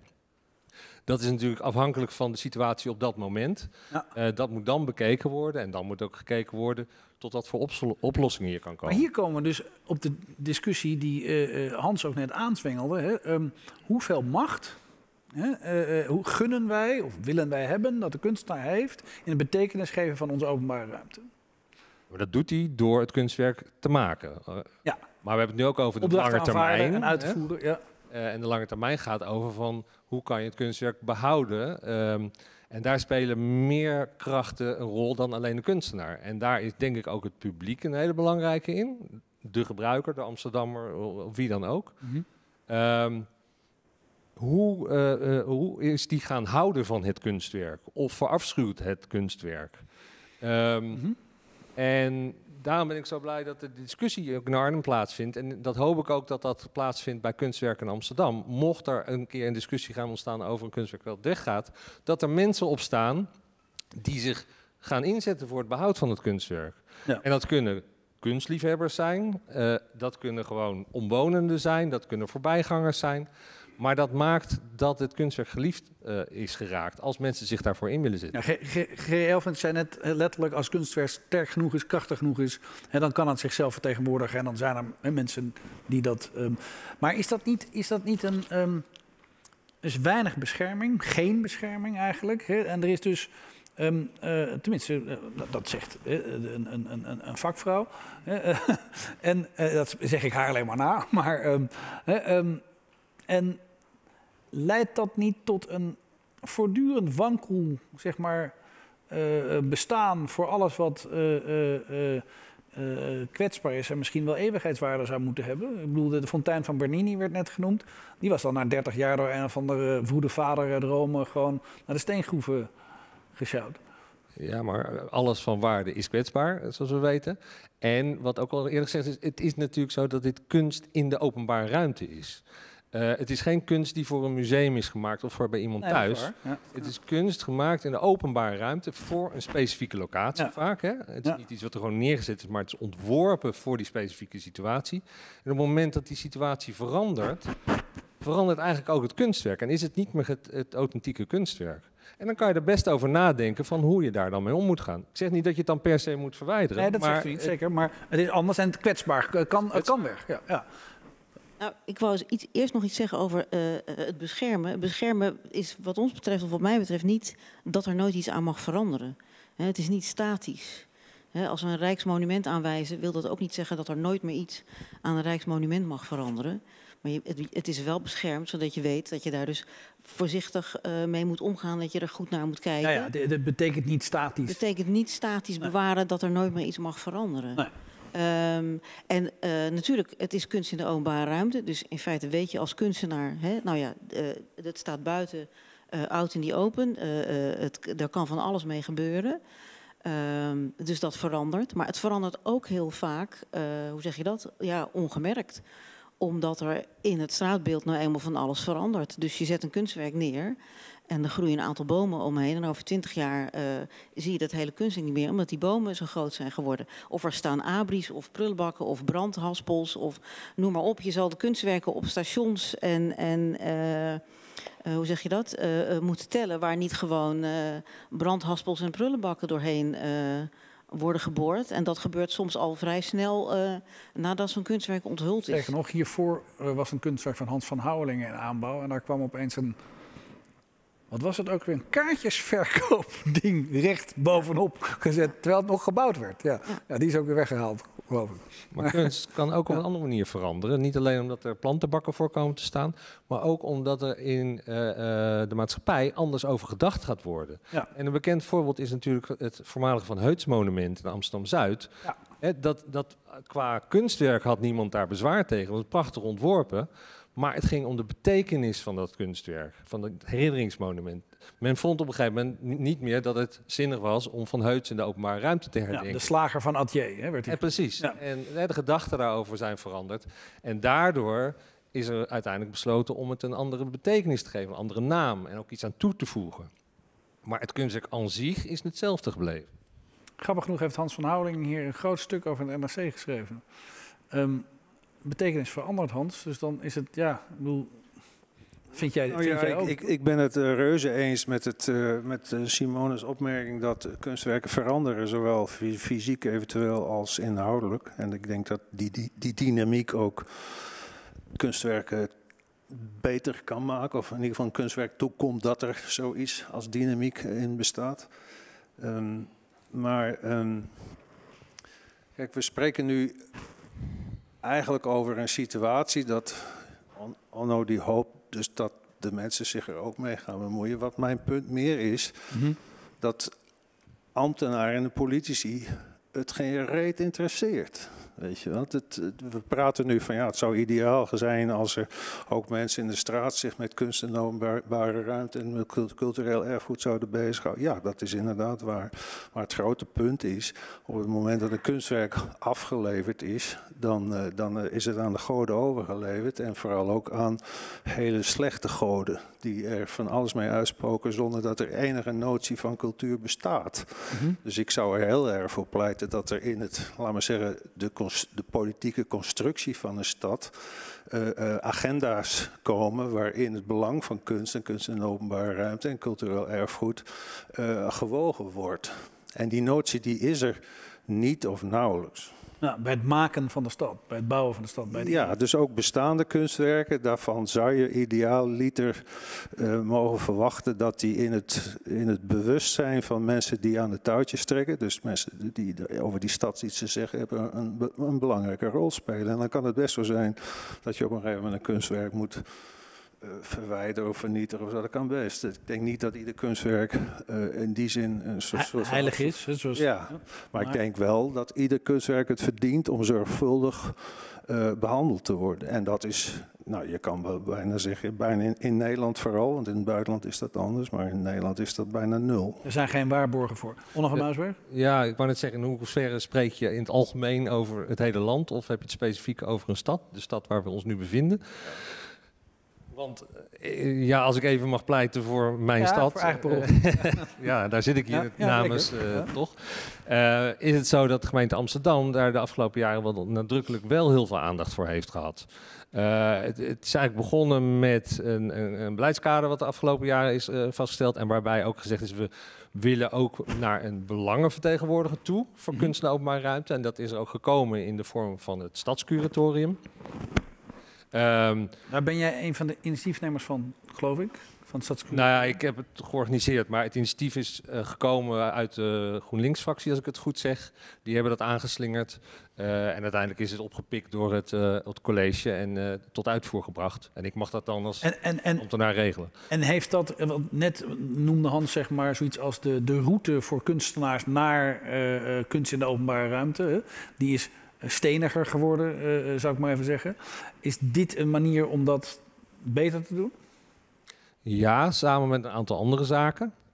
Um, we hebben bijvoorbeeld ook een percentageregeling ingesteld in Amsterdam.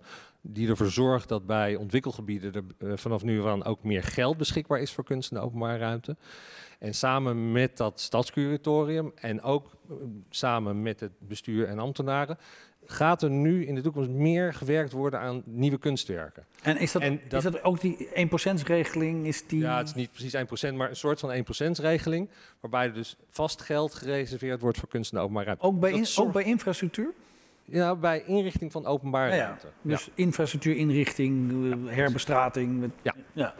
En dat zorgt ervoor dat er dus weer meer kunstenaars gevraagd gaan worden om mee te denken over die inrichting van de openbare ruimte door middel van hun kunstwerken. En het zou mooi zijn als die kunstenaars dan ook nog mee kunnen denken over hoe de totale openbare ruimte ingericht wordt. Hè? Dat het samenspel wordt met. Is, is, is dat mooi een bonus of is dat noodzakelijk, vind je? Niet altijd noodzakelijk, maar dat kan de openbare ruimte van Amsterdam uh, fraaier maken. Ja, want ik, bedoel, ik heb wel eens een presentatie hier gezien van uh, de dienst uh, statistiek en inzameling van gegevens, hoe heet het ook alweer, um, hier van Amsterdam. Die liet zien dat de stukken die door Berlage zijn ontworpen eeuwigdurend meer waard geworden zijn als vastgoedlocatie. Zeg maar. Dus de toevoeging van een kunstenaar aan het ontwerp. Nou, daar Amsterdam heeft laten zien dat dat meerwaarde heeft heeft er een traditie in. En dat begon natuurlijk met uh, Berlage, ja, Hilde Krop, die als stadsbeeldhouwer natuurlijk een hele grote rol heeft gehad. Maar ook uh, neem het Oostelijk Havengebied, wat natuurlijk in de jaren 90 en de jaren uh, 0 is ingericht. Waar ook kunst en openbare ruimte vanaf het begin een, een belangrijke rol speelde bij de inrichting. Ja. En zo willen we dat ook weer gaan doen bij alle nieuwe wijken die nu nog gebouwd moeten gaan worden. Zoals Havenstad bijvoorbeeld. Is dat, uh, is dat iets wat Arnhem bekend voorkomt? Is dat helemaal onbekend? Of hoe, hoe is dat? Nou, het, het, gaat om erkenning van kunst in de openbare ruimte. En dat begint met zoiets simpels als um, registreren wat je allemaal als gemeente hebt aan kunst in de openbare ruimte. Arnhem had dat niet uh, geregistreerd. Dus dat heb ik uh, als wethouder cultuur laten registreren. Ook zoiets simpels als een bordje. Het is heel plat en banaal. Maar op elk kunstwerk dan ook een bordje erbij aanbrengen. Uh, en dan in met een QR-code, zodat mensen ook kunnen weten van oké, wat is dit voor een werk? Dat hebben we allemaal aan moeten brengen in die periode. Um, en we hebben natuurlijk de, uh, de Sonsbeek tentoonstellingen die nu elke vier jaar gehouden gaan worden, omdat we dat gewoon met regelmaat willen organiseren. De laatste editie was wat minder geslaagd, geloof ik. Maar uh, dat, is, dat is wel uh, wat we doen met kunst in de openbare ruimte. Maar het gaat om erkenning. Maar ik denk dat daarbij ook heel belangrijk is te erkennen dat een kunstwerk in de openbare ruimte niet alleen maar een artistieke uh, betekenis of een artistieke impact heeft. Het heeft ook een impact op de, op de leefomgeving, op, de, op, het, ja, op het welzijn van mensen, op de leefbaarheid kan het zelfs uh, hebben. En dat is wat dit werk, ja, daar, daar zit de spanning natuurlijk bij, bij, bij dit voorbeeld van de blauwe golven. Um, ja, en die erkenning die hoort er dan denk ik ook bij. En dat hoort dan ook in de opdrachtgeving denk ik beter geborgd te worden. Van oké, we gaan een werk maken in de openbare ruimte. We willen dat op een manier doen die ook duurzaam is, waardoor dat ook lang mee kan gaan. Uh, mensen daar lang van, van kunnen genieten. Ja, dan, dan hoort er ook bij dat je erkent dat het impact kan hebben op, uh, op de levens van, uh, van mensen. Dan moet het daar ook rekening mee, uh, mee houden. Maar goed, dat in de jaren 70 hadden we natuurlijk een andere tijd. Ik denk dat we dat nu wel wat slimmer kunnen gaan. Dat, dat hoort bij goed opdrachtgever. Nou, maar daar, kijk, daar kijkt u een beetje moeilijk bij? Nou ja, ik wou net zeggen, de Arnhemse school was bij, waar dit zeg maar een soort icoon van is, was bij uitstek um, gericht op ontwerpen voor de leefomgeving. Ja, dat is bijna overal verdwenen, niet voor niks. Nou ja, dat is niet overal verdwenen, dus ja, daar ben ik het niet mee. overal wel. Nou ja, dat, dat heeft ook te maken met, wat u, met het andere wat u zei. Van is er geïnventariseerd, staan er bordjes bij, weten mensen dat het een kunstwerk is? En kan je dat kunstwerk nog wel zien tussen al die abris en prullenbakken en brandhaspels uh, door? Want dat is er natuurlijk ook gewoon gebeurd in die afgelopen 30, 40 jaar. Ja, ik bedoel, de Arnhemse school was echt, bij uitstek zijn de kunstenaars uh, uh, opgeleid om juist uh, in samenspraak met stedenbouwkundigen, met architecten, die leefomgeving te ontwerpen. Ik, ik ken het resultaat in mijn eigen stad. En dan heb ik het niet over de Blauwe Golf, maar ook op andere plekken is dat toegepast. En er staan er overal muurtjes, e-, enorm in de weg. Mensen hebben er last van, leidt tot verloedering en verpaupering. En dan vraag ik, wat is dit? En dan zeggen ze, ja, dat is de Arnhemse school. Ja, maar de vraag is, wat leidt nou precies tot, tot verloedering en tot, tot klachten? Is dat hoe het er, er, nu bij staat? Of is dat inherent aan het kunstwerk? Kijk, ja, dat is in, in, nou, sommige gevallen inherent aan het kunstwerk. Dat zou kunnen, maar dat moet je dan heel treurig, goed, maar wel waar. Dan heel goed moeten onderzoeken of dat inderdaad zo is. Nee, dat ben ik eens. Maar het antwoord moet ook kunnen zijn, ja, dit zit in de aard van het ontwerp. Nou, dat kan, maar dan, wil ik, dan zou je dat, dan wil je dat, als je op het moment dat je daar beslissingen over gaat nemen, dan moet je dat op tafel hebben. En natuurlijk zijn er ook slechte kunstwerken gemaakt. Ik ga, niet, ik ga echt niet beweren dat elk kunstwerk even geslaagd is. Oké. Uh, en ik ga ook niet zeggen dat, uh, um, hoe zeg je dat, ook al vind ik het niet geslaagd en de bevolking of de omwonenden willen het koek de koek behouden, ga ik ook niet zeggen dat dat dan niet mag. Nee. Of, en ik ga er überhaupt niet over, maar dat heb ik in de film al gezegd. Ja, nee. Ja, het klonk een beetje alsof u dat eigenlijk verkeerd vindt, dat niemand daarover... Ik, weet, ik, bedoel niet dat u erover moest gaan, maar het klonk alsof u vindt... eigenlijk moet er wel iemand zijn. Nou ja, ik vind dat er gewoon... Kijk, het is hartstikke mooi om die plannen te horen, nu, van mijn buurman. Maar tegelijkertijd denk ik dan, het heel mooi dat er uh, nieuwe kunst komt. Ja, maar is er ook al nagedacht over het behoud van die kunstwerken die straks neergezet Ja, nou ja, die gaan na tien jaar mogen ze weg, hoor ik net. Nou, dat is, over nagedacht. maar de, de nieuwe stadsdelen... ik vind het wel een, een, eh, een, een teken aan de wand dat eh, hedendaagse kunstopdrachten inderdaad gepaard zijn met een, een, een, termijn waarop het afgebroken mag worden. Waarom is dat een teken aan de wand? Nou, omdat dat ervan uitgaat dat er dan een mogelijkheid zijn, uh, gaat bestaan waar je van het werk uh, af kan. Je kan ook, ik vond wat Jess Fernie in, dat, uh, in, in het eerste gesprek zei, vond ik wel een aardig idee om een kunstwerk citizenship te geven. Ja. Dan heb je het misschien niet over een monument dat een monumentenstatus uh, moet hebben, maar misschien wel over een kunstwerk dat binnen, uh, de, laten we zeggen, de, de overwegingen, vooral binnen de, de overwegingen die, die uh, er politiek aangegeven worden, een, een bepaalde betekenis heeft en ook kan, kan genereren. Weet je, en dan zal het op de politieke agenda een ander iets zijn dan te zeggen van nou we weten van niks en nu is het tien jaar geweest en we willen iets anders, dus dan mag het nu weg. Weet je, het, het gaat ook om, om ja, nee, oh, oh, ja, ja. ja even het misverstand weghalen dat dat dus altijd dan na tien jaar maar weggehaald uh, zou mogen worden. Um, maar je moet rekening houden met de factor tijd. En dat wordt nog wel eens veronachtzaamd. Uh, wij kunnen nu niet bepalen van wat er over tien jaar nodig is. En dan zitten er andere mensen, zijn er andere verwachtingen, andere functies in die openbare ruimte. Want we hebben het nog steeds over de openbare ruimte, die op allerlei manieren gebruikt wordt.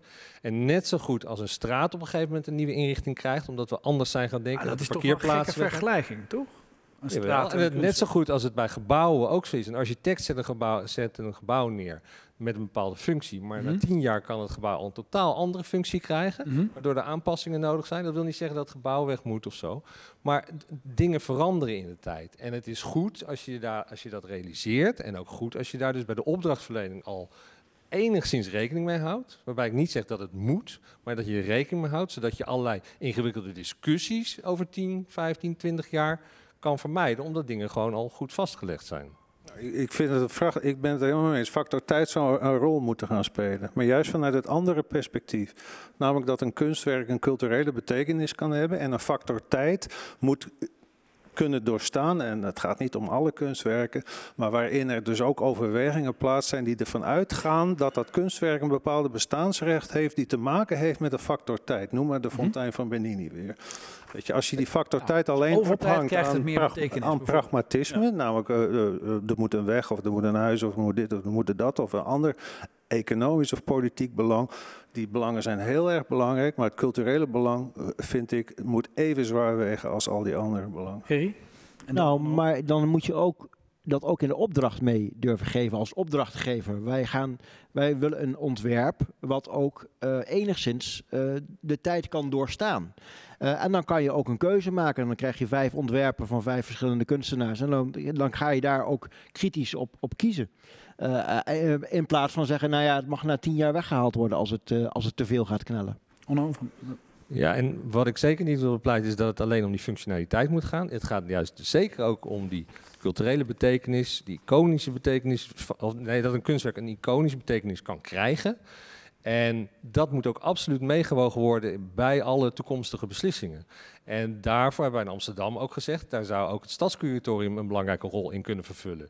Die kunnen die afweging ook vanuit dat cultuurhistorische uh, aspect of de artistieke aspect meewegen of een kunstwerk uh, behouden zou moeten worden. Maar echt als in de zin van uh, uh, curatoren die een collectie beheren? Precies. Ja. In die zin? Ja. ja. En daarnaast is het zo dat wij in Amsterdam ook een aantal kunstwerken ook wel de gemeentelijke monumentstatus gegeven hebben. Bijvoorbeeld het Homo-monument naast de Westerkerk heeft de gemeentelijke monumentenstatus. En wat betekent dat? Nou, dat betekent dat het op een bepaalde manier beschermd is, net als een pand dat de gemeentelijke ja. uh, monumentenstatus heeft, dat je daar niet zomaar iets aan mag veranderen. Ja, en, ja. Uh, maar maar ik, ik, ik, kijk, natuurlijk, er is ook, de stad verandert en er, over tijd krijgen dingen natuurlijk ook betekenis en daar worden ze misschien meer waard of minder waard of, of krijgen ze gelaagdheid en meer interpretaties. Um, maar aan de andere kant, als de kunst voortdurend bedreigd wordt, de kunst in de openbare ruimte, voortdurend bedreigd wordt door het plebiscit, het volksplebiscit of door het populisme, dan, dan, dan blijft er toch niks over na een tijdje. Want dan na een tijdje spoelt alles wel in de ene mode of in de andere mode een keer weg. Als er maar genoeg uh, van links naar rechts gewisseld wordt, zou ik maar zeggen. Uh, die, die, hebben waarschijnlijk tegenovergestelde smaken, ga ik even vanuit, maar dat is theoretisch. Maar, maar begrijp je wat ik bedoel? Ja, maar je hebt het steeds over het volk, maar het is niet het volk. Het is niet een eenheid. Nee. Uh, de bevolking bestaat uit verschillende soorten mensen met ja. allerlei meningen, met allerlei belangen. Zeker. Uh, uh, mensen zitten in belangenorganisaties zoals ja. de Bond Heemschut, die zat, zat, geloof ik ook in de film. kunstkenners en bewoners en nou, ja. iedereen kan genoeg, meedenken. Genoeg waarborg? Um, ja, denk het wel, maar dat kan je ook dus organiseren. Ik, ik, weet je, ik, ik ben het in principe heel erg met je eens, behalve dat wordt genoeg. Weet je, ik vind dat de, stad, de instelling van het stadscuratorium is denk ik een hele goede kwestie in Amsterdam. Uh, ik ben ontzettend nieuwsgierig hoe dat curatorium zich gaat uh, nestelen in, uh, laten we zeggen, de Amsterdamse politiek. Ik bedoel, je zegt dat het al zo is, maar ik moet het, je moet dat zien. Hoe, hoe, hoe politiek kan kunst worden, daar komt het eigenlijk op neer. En um, ik denk dat het een heel goed initiatief is om te doen. Maar als je zegt het is genoeg gewaarborgd, dan denk ik nee, helemaal niet genoeg. Want de, de, de praktijk wijst dat er. Nou, ik werd vanochtend nog gebeld door het Bond Heemschip dat er weer een kunstwerk naar de bliksem gaat, omdat er niet over nagedacht is en de bulldozer. Dit ik denk ik, misschien wil Hans er wel een film over maken. Ja. ja. ik heb precies dat gezegd. ik kan hier overal een film van maken. Maar de, de, weet je, als het een, een redelijke in balans zijnde situatie zou zijn, dan zal het allemaal niet zo erg zijn. En dan hebben we allemaal gelijk. Maar dat is niet zo. We praten hier nu alsof cultuur heel belangrijk is, dat alle ambtenaren ervan op de hoogte zijn.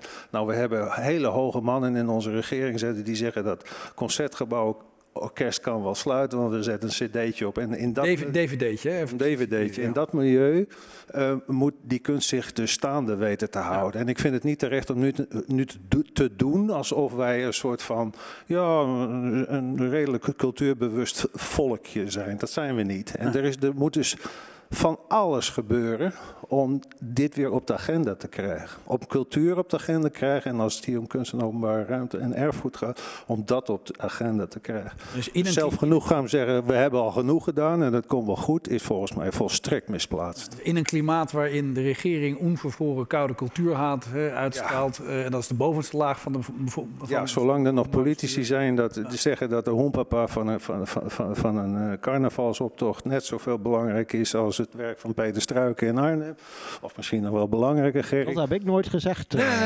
nee, ik zeg dat. Het ging hier over een Kamerlid van de VVD. Ja. ja. Met de voornaam Thierry. Maar, um, en, en, maar goed, als, zolang er op dat niveau nog dat soort dingen worden gezegd... dan kan je ook ervan uitgaan dat op een iets lager niveau het nog eh, op zijn minst net zo erg is. En als, zolang dat zo is, is er werk aan de winkel. En dan vind ik het niet terecht dat we nu doen alsof het allemaal wel goed geregeld nou ja, is. Wat, wat, wat, ik begrijp ook wel, begrijp jouw uh, woede waar ik eerder naar vroeg, misschien eigenlijk nu ook wel wat beter.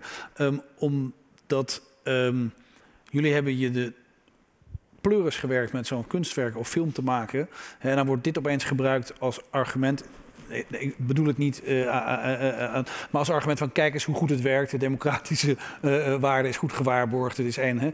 violen gaan aan. Een gespreksleider is helemaal blij en ontroerd over de, nee, dit... over de democratie. En dat, maar dat is natuurlijk helemaal niet zo, want meestal is dat er niet. Bedoel je, die waarborg? Dat kunstwerk is gemaakt juist om deze discussie te hebben. Ja. En ik hoop dat het op heel veel plekken overal dit, dit, soort discussies gaan plaatsen. Juist om dat weer op de agenda te krijgen. En die ja. zelfgenoegzaamheid er een beetje van af te halen. Ja, en het feit dat we kunstenaars de ruimte moeten geven om betekenis te geven aan de openbare ruimte. En dat dat vanaf aanvang, maar dat, wat dat betreft vind ik het wel heel positief wat ik hoor over Amsterdam.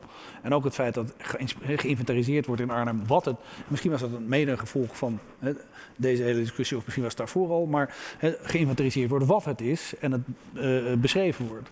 Ja. ja, maar het, uh, het moet meer. Ja. Nou. Ik kijk even naar de mensen in de zaal. Ik overschrijd enorm de tijd van uh, het gesprek. Um, uh, maar dat komt omdat wat mij betreft een fantastisch gesprek is. Um, en misschien zijn er mensen die iets willen vragen of toevoegen. En dat is mevrouw hier met een wit kooltrui aan. Een witte kooltrui aan. En er is nog een mevrouw achterin die haar hand opsteekt. En die werkt bij de Bali, is redacteur van de Bali. Ja. En daar is ook nog iemand. Ja. Ik heb in de tijd meegewerkt aan de waarderingen de waardestelling geschreven voor de metro Oostlijn, voor de kunstwerken. Daar hebben we elkaar ontmoet. Um, ik um, heb ook meegewerkt aan het waarderen van 260 uh, monumentale kunstwerken in de stad in de periode 1945-1965. Maar we hebben een selectie gemaakt. We hebben gezegd van deze zijn van belang op kunsthistorisch gebied, op cultuurhistorisch gebied en wat voor een blik het heeft in de ruimte. Dus je kunt een keuze maken. Maar ik moet zeggen dat ik wel schrik van het feit dat elk kunstwerk maar tien jaar een garantie krijgt. Want het heeft het nog niet eens de tijd om een bedding te krijgen. Want als je bijvoorbeeld het kunstwerk van Karel Appel bekijkt, wat in 1948 is aangebracht, dat moest onmiddellijk afgedekt worden. En dat is tien jaar later weer opnieuw uh, heeft het zijn werk gekregen. En ik vind het wel erg als tien jaar het, zeg maar, het maximum is waarop iets gedaan kan worden. Dus dat, vind ik, dat wil ik alleen zeggen. Van, je ja, hebt een waardering. Je maakt je zorgen kort, vind ja. ik. Ja. Ja. Je moet van tevoren eigenlijk um, een, een zo objectief mogelijke verhaal proberen te schrijven. En je zegt van nou, dit heeft waarde. Ja. En het heeft waarde op een Maar zwaar kunsthistorisch van. Damocles van tien jaar boven ieder kunstwerk vindt u uh, schrikken? Ja, dat vind ik Ja. veel te kort. Uh, uh, Jan de Mosselman, redacteur van Bali. En dan meneer daarnaast Suzanne Oxenaar. Ja. Ja, dank. Dat een vraag aan, ik heb een vraag aan Hans en Jack. Want Hans, jij zei dat je eigenlijk dacht dat de eindscène van deze film een scène zou zijn waarbij de bulldozers het, werk zouden opruimen. En ik vroeg me af, als je dit ziet als een werk op zich, eh, eh, vond je dat dramaturgisch niet ergens ook jammer dat het niet zo is? En eh, wat ik me ook afvroeg, van als je hier discussies over wil hebben, denk je dat het beter was geweest als dat wel was gebeurd? Omdat mensen dan heel erg geschrokken waren geweest en zich misschien ook wel, nou ja, het soort van pijn hadden dat dat was gebeurd en zich meer zouden gaan inzetten of zoiets. Nou, ik snap het woord dramaturgisch in dit verband wel. En het zou inderdaad een groot drama geweest zijn als het werk gesloopt zou zijn. Maar vergis je niet, hier hebben 17 hele jonge kunstenaars zich van een kant laten zien waar de Arnhemse politiek zo door geïmponeerd is geworden dat zij uiteindelijk eh, eh, eh, de, sloop van dat werk hebben kunnen tegengaan. Ik vind dat een, een overwinning van de jeugd en ook de overwinning van de kunst. Dus ik ben ontzettend blij met deze uitkomst. Ondanks dat ik me heus, heus wel realiseer dat het dramatische beeld van een bulldozer misschien meer impact heeft. Maar dit is wel een. Ja, mooier kon het niet naar mijn, naar mijn gevoel. Van Maasbrug nog even over de tien jaar. Wat, hoe, hoe moeten we dat Ja, eh, een misverstand dat, het nou, dat kunstwerken altijd maar slechts tien jaar mogen bestaan. Dat is het niet. Ehm, het gaat erom dat je eh, vastlegt dat er de mogelijkheid is om het na tien jaar weg te kunnen halen als er hele goede redenen voor zijn. Maar we willen wel degelijk met alle kunst in de openbare ruimte dat het voor langere tijd eh, in die openbare ruimte blijft. Eh, maar Dat is wel het doel. dat is het doel. Zeker. Ja, ja. Maar je hebt die jurist ook gehoord. Hè? een kunstwerk mag je in principe altijd slopen. Dus die tien jaar termijn zou in principe helemaal niet nodig zijn. Je kan het ook na één jaar slopen. Dus de, de instelling van zo'n tienjarenplan. Oké, je hebt gelijk. Maar je zegt er impliciet, zeg je daarmee van ja, het kunstwerk eh, staat eigenlijk na tien jaar, kan, eh, kunnen we er wel wat mee. Weet je? En, en zo wordt het ook niet in Amsterdam alleen, maar overal zo uitgelegd. Maar andersom kan je het ook uitleggen, want in, wij zetten dus ook onze handtekening eronder dat wij het dus in ieder geval zeker voor die tien jaar garanderen. En daar kan de kunstenaar ons op aanspreken. Het biedt ook meer garantie richting de kunstenaar. dat wordt niet helemaal. Nee, maar het, gaat, het gaat er, het gaat, het gaat er niet om dat wij dingen niemand hoort tien jaar kwijt willen. Laat, dat misverstand moet weggenomen uh, worden. Nee, ik ga eerst even naar de meneer daar. Die had ik beloofd. Een, een... Hallo, ik ben uh, Vincent de Boer. Ik werk voor Stroom in Den Haag. Ik adviseer de gemeente over kunst en openbare ruimte. Ik was eigenlijk gegrepen door een uh, opmerking van Gerry Elfrink. Die zei van, nou, er is een soort tegenstelling tussen de deskundigen die uh, ons advies geven, ons, uh, Arnhemmers, boertjes. maar hoe had u aangesproken willen worden om wel overtuigd te worden van de waarde van dit kunstwerk? Nou, ik hoef niet overtuigd te worden van het waarde van dit kunstwerk. Ehm, ik heb mij verdiept uh, in dit kunstwerk. Ik heb me überhaupt verdiept in, in kunst. Ik heb ook aan de kunstacademie gestudeerd. Dat, dat staat daar niet onder. Maar dat is wel zo. Um, dus daar, daar, ging het helemaal niet om. En daar gaat het ook helemaal niet om. Het gaat er wel om dat er ook andere belangen spelen. En in dit geval de belangen van de aanwonenden, die helemaal niet blij zijn met deze uitkomst. En voor hen is het, ja, ik wil niet overdrijven, drijven, maar wel een drama, zeg maar, hoe, het, hoe de film is, is afgelopen. Um, en uh, ik ben blij dat er mensen zijn die het zo enorm op waarde weten te schatten. Ik ben blij dat hier een hele mooie documentaire uh, is gemaakt, want dat brengt de zaak ook weer een beetje in balans. en zo kijk ik hier naar. Waar het om gaat zijn ook niet mensen die deskundig zijn, want een, iemand kan heel deskundig zijn, maar nog steeds zien dat er ook andere belangen zijn die moeten worden meegewogen. En ik vind dat de Rijksbouwmeester in deze film dat uitstekend verwoordt. Uh, maar er zijn ook mensen die trekken zich heel eendimensionaal terug op hun eigen vakgebied. Ja, en doen alsof er dan verder geen verantwoordelijkheden zijn. Die hoeven er ook niet aan mee te betalen. Het is niet zo dat de Rijksdienst uh, voor het cultureel erfgoed zegt: Nou, jullie hebben zo'n mooi belangrijk kunstwerk. Nou, wij gaan er eens even aan meebetalen aan het onderhoud uh, daarvan. Nee, er komt geen dubbeltje van het Rijk. Maar er wordt wel gezegd wat wij in Arnhem moeten doen. En de lasten die wij moeten dragen. En als we dat niet doen, ja, dan zijn wij. Dat, is niet het woord van de, van de Rijksdienst hoor, even voor de duidelijkheid. Maar er zijn wel anderen die ons dan afschilderen als cultuurbarbares, letterlijk gezegd uh, uh, ook, ook tegen mij. Nou raakt mij dat verder niet. Maar het is een houding die opvalt en een houding die niet open is en ook niet per se mensen gaat overtuigen van waarde van kunst. Mag ik reageren? Ja, Gerrit, het kost heel veel geld. Uh, wij hebben dat uh, hele gebied schoon laten maken voor 20.000 euro, dat is een hoop geld. Weet je, die, um, um, die kosten daarvoor uh, die draag je als gemeente, uh, zelfs uh, als het juridisch, een juridische kwestie betreft. Peter Struiken die heeft een aantal keren overwogen om een rechtszaak aan te, aan te spannen met de gemeente Arnhem. Dat hij het recht heeft dat zijn kunstwerk wordt onderhouden. Dus jullie hebben de plicht om iedere zoveel tijd 20.000 euro te investeren in de schoonmaak van zo'n kunstwerk. Dat doe je niet, dat heb je ook niet gedaan. En, maar die plicht had je wel. En om dan nu te zeggen, je moet dat af, de, het Rijk betaalt niet mee, dat is onterecht. Dat is onterecht. De gemeente is nalaten geweest, jarenlang, omdat het niet bereid was 20.000 euro één keer in, de, in het jaar, weet ik wat, uit te geven aan dat. Dat jaar is er 20.000 euro uitgegeven. En nogmaals, het is één keer met de hoge drukreigener schoongemaakt. Uh, maar er is heel veel aan onkruidbestrijding gedaan. Wat dacht jij, dat die betonklinkers, dat daar geen onkruid tussen groeit? Ja, ja heel en dat is allemaal verwijderd, allemaal met Roundup. De smerige rotzooi. En dat heeft ook nog eens een keer klauwen met geld gekost. En dat we niet genoeg gedaan aan, daaraan hebben om het te laten blinken, dat heb je helemaal gelijk in. Maar ga niet zeggen dat de gemeente Arnhem en haar inwoners hier niet voor betaald hebben. Kom op. En ga jij niet zeggen dat als het werk bestaat er al, uh, hoe lang is dat? Een jaar of 40? Dat het uh, in die 40 jaar niet is duidelijk geworden aan de gemeente dat je het heel makkelijk met een, groot, uh, met een hoge drukkerij en de wel kan schoon. Ja, maar waarom wordt het dan nu allemaal vervangen voor 10 miljoen euro? Dat hebben we het over gehad. Um, ik denk dat er, er meneer in die uh, met lichtblauwe. Um, ik, ik, vind het belang van die bewoners, hè, wat u zei, dat, dat, vind ik ook heel belangrijk. Maar wat ik, uh, als, je, als je vanuit die denkrichting uh, denkt, dus ja, nou, misschien vinden ze het niet mooi, maar dit kunstwerk heeft toch niet die fijnstof in de lucht gebracht. Dat is die weg die daar loopt en die brug. En dat is eigenlijk het werkelijke probleem waarom het daar onprettig wonen is. En die panden die er staan, die zijn ook heel onprettig en heel lelijk.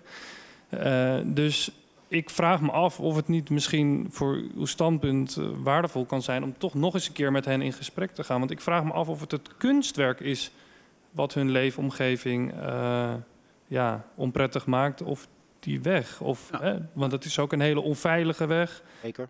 Het zijn ook ja. mensen overleden. En, uh, maar het is een hele in, in die zin is het veel eerder die weg dan dat kunstwerk.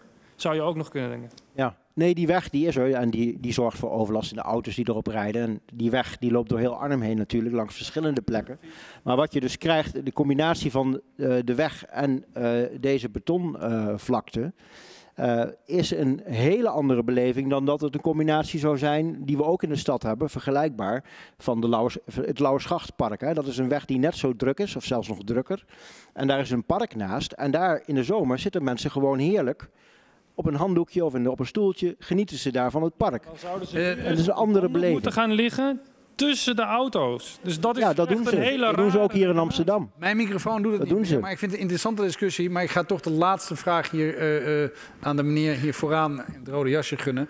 Uh, want dit, deze uiteenzetting begrijp ik wel, maar die, die kunnen we herhalen. Maar, um, het is niet zozeer een vraag, maar ik als ex-Arnhemer heb ik het gebouwd zien worden. En ik ben het eens dat het ook een beetje mijn kunstwerk is. Maar het heeft, van meet af aan heeft het deze discussie opgeleverd. Ik ken geen... Het, het, is echt een soort aha-erlevenis op het ogenblik. Het is nooit anders geweest. Er zijn altijd stemmen tegen geweest en altijd stemmen voor geweest. En ik moet zeggen, het is, het is een, het is een geweldig, uh, geweldig kunstwerk wat een mooie plek heeft daar in Arnhem. Ik, ik, kan me niet voorstellen dat mensen daar niet trots op zijn. Maar de, het feit dat die discussie gevoerd wordt, bewijst eigenlijk de waarde van het kunstwerk zelf ook al. Ik denk dat dat heel, heel van belang is. Juist de omstredene, het omstredene gebruik van dit soort van beeldende middelen op deze onlocatie. En dat, is, uh, dat maakt het goed. Dus ik ben ook blij met wat, uh, wat, wat meneer, meneer, zegt. Het, het, is een bijdrage aan juist die discussie.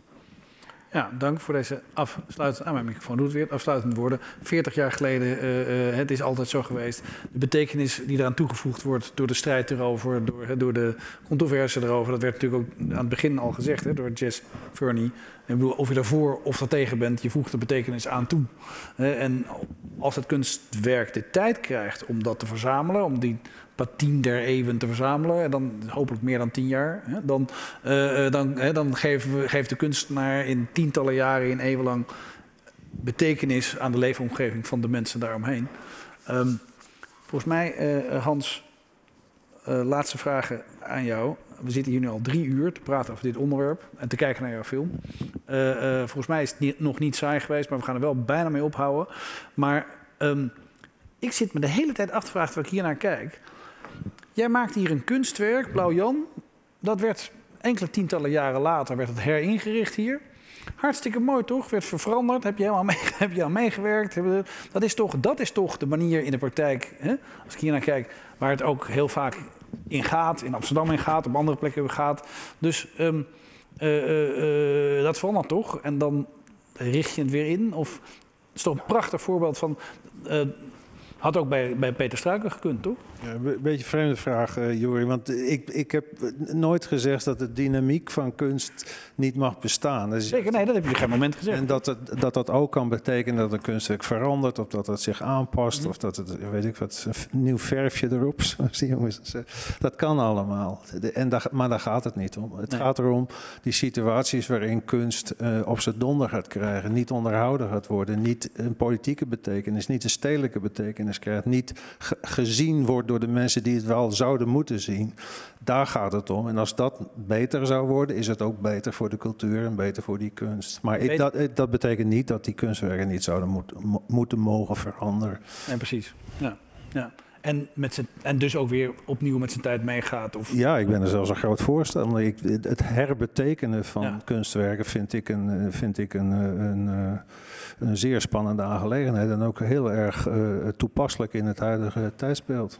Ja, en herbetekenis geven kan dus ook met zo'n werk wat jullie net gemaakt hebben. Ja, dat hoeft, het, hoeft niet per se te, te, te, betekenen dat je de hardware van zo'n kunstwerk verandert. Dat kan ook misschien. Maar het kan ook simpelweg in de betekenisgeving van een kunstwerk zitten. Dat, je, eh, dat het, het eraan toe is om een nieuwe betekenis of een, een andere betekenis uh, met zich mee te gaan dragen. Ja, je pleit eigenlijk voor, een, voor meerwaarde, voor betekenis. En ik, ik vond in jouw um, essay eigenlijk over uh, tussen blauwe golven en groene corridor, wat je op je website hebt staan over dit project, vond ik de zin, sinds een aantal jaren wordt ook de beeldende kunst structureel onderworpen aan neoliberale dogma's, artistieke waarden ondergeschikt, ondergeschikt gemaakt aan economische criteria. En je, je pleit eigenlijk voor die betekenis in plaats van de economische waarde. Ja, als, als een van de krachten van de samenleving uh, vind ik dat cultuur ook een, een, een machtsfactor moet zijn. Ja, Net zoals uh, economie of, of politiek dat ook is. Ja. Dus dat, dat marktdenken dat is voor een heel groot deel dominant. Daar kan heel uh, cultuurdenken heel goed tegenover staan. Ja, ja. fascinerende film, want uh, de SP-wethouder was in dit geval voor de neoliberale oplossing. Nee, nee, nee, nee, nee, nee, nee, nee dat, zo, zo werkt het niet. GroenLinks was voor uh, stenen en niet voor een groen park. Ja, dus het, het, was een omwertung, een omwertung aller werten. Een fascinerend proces. Heel, heel hartelijk dank voor de komst hier. De openheid, het mee willen praten uh, uh, als hoofdpersoon van de film. En dan zo'n open gesprek voeren. Heel hartelijk dank jullie voor het maken, het tonen en het meespreken. En heel hartelijk dank voor de expertise. het was drie uur, het was een lange zit. Ik heb er maar flink veel tijd tegenaan gegooid. Omdat het een prachtig onderwerp was. hartelijk dank voor uw komst en ik hoop dat we elkaar snel weer een keer zien.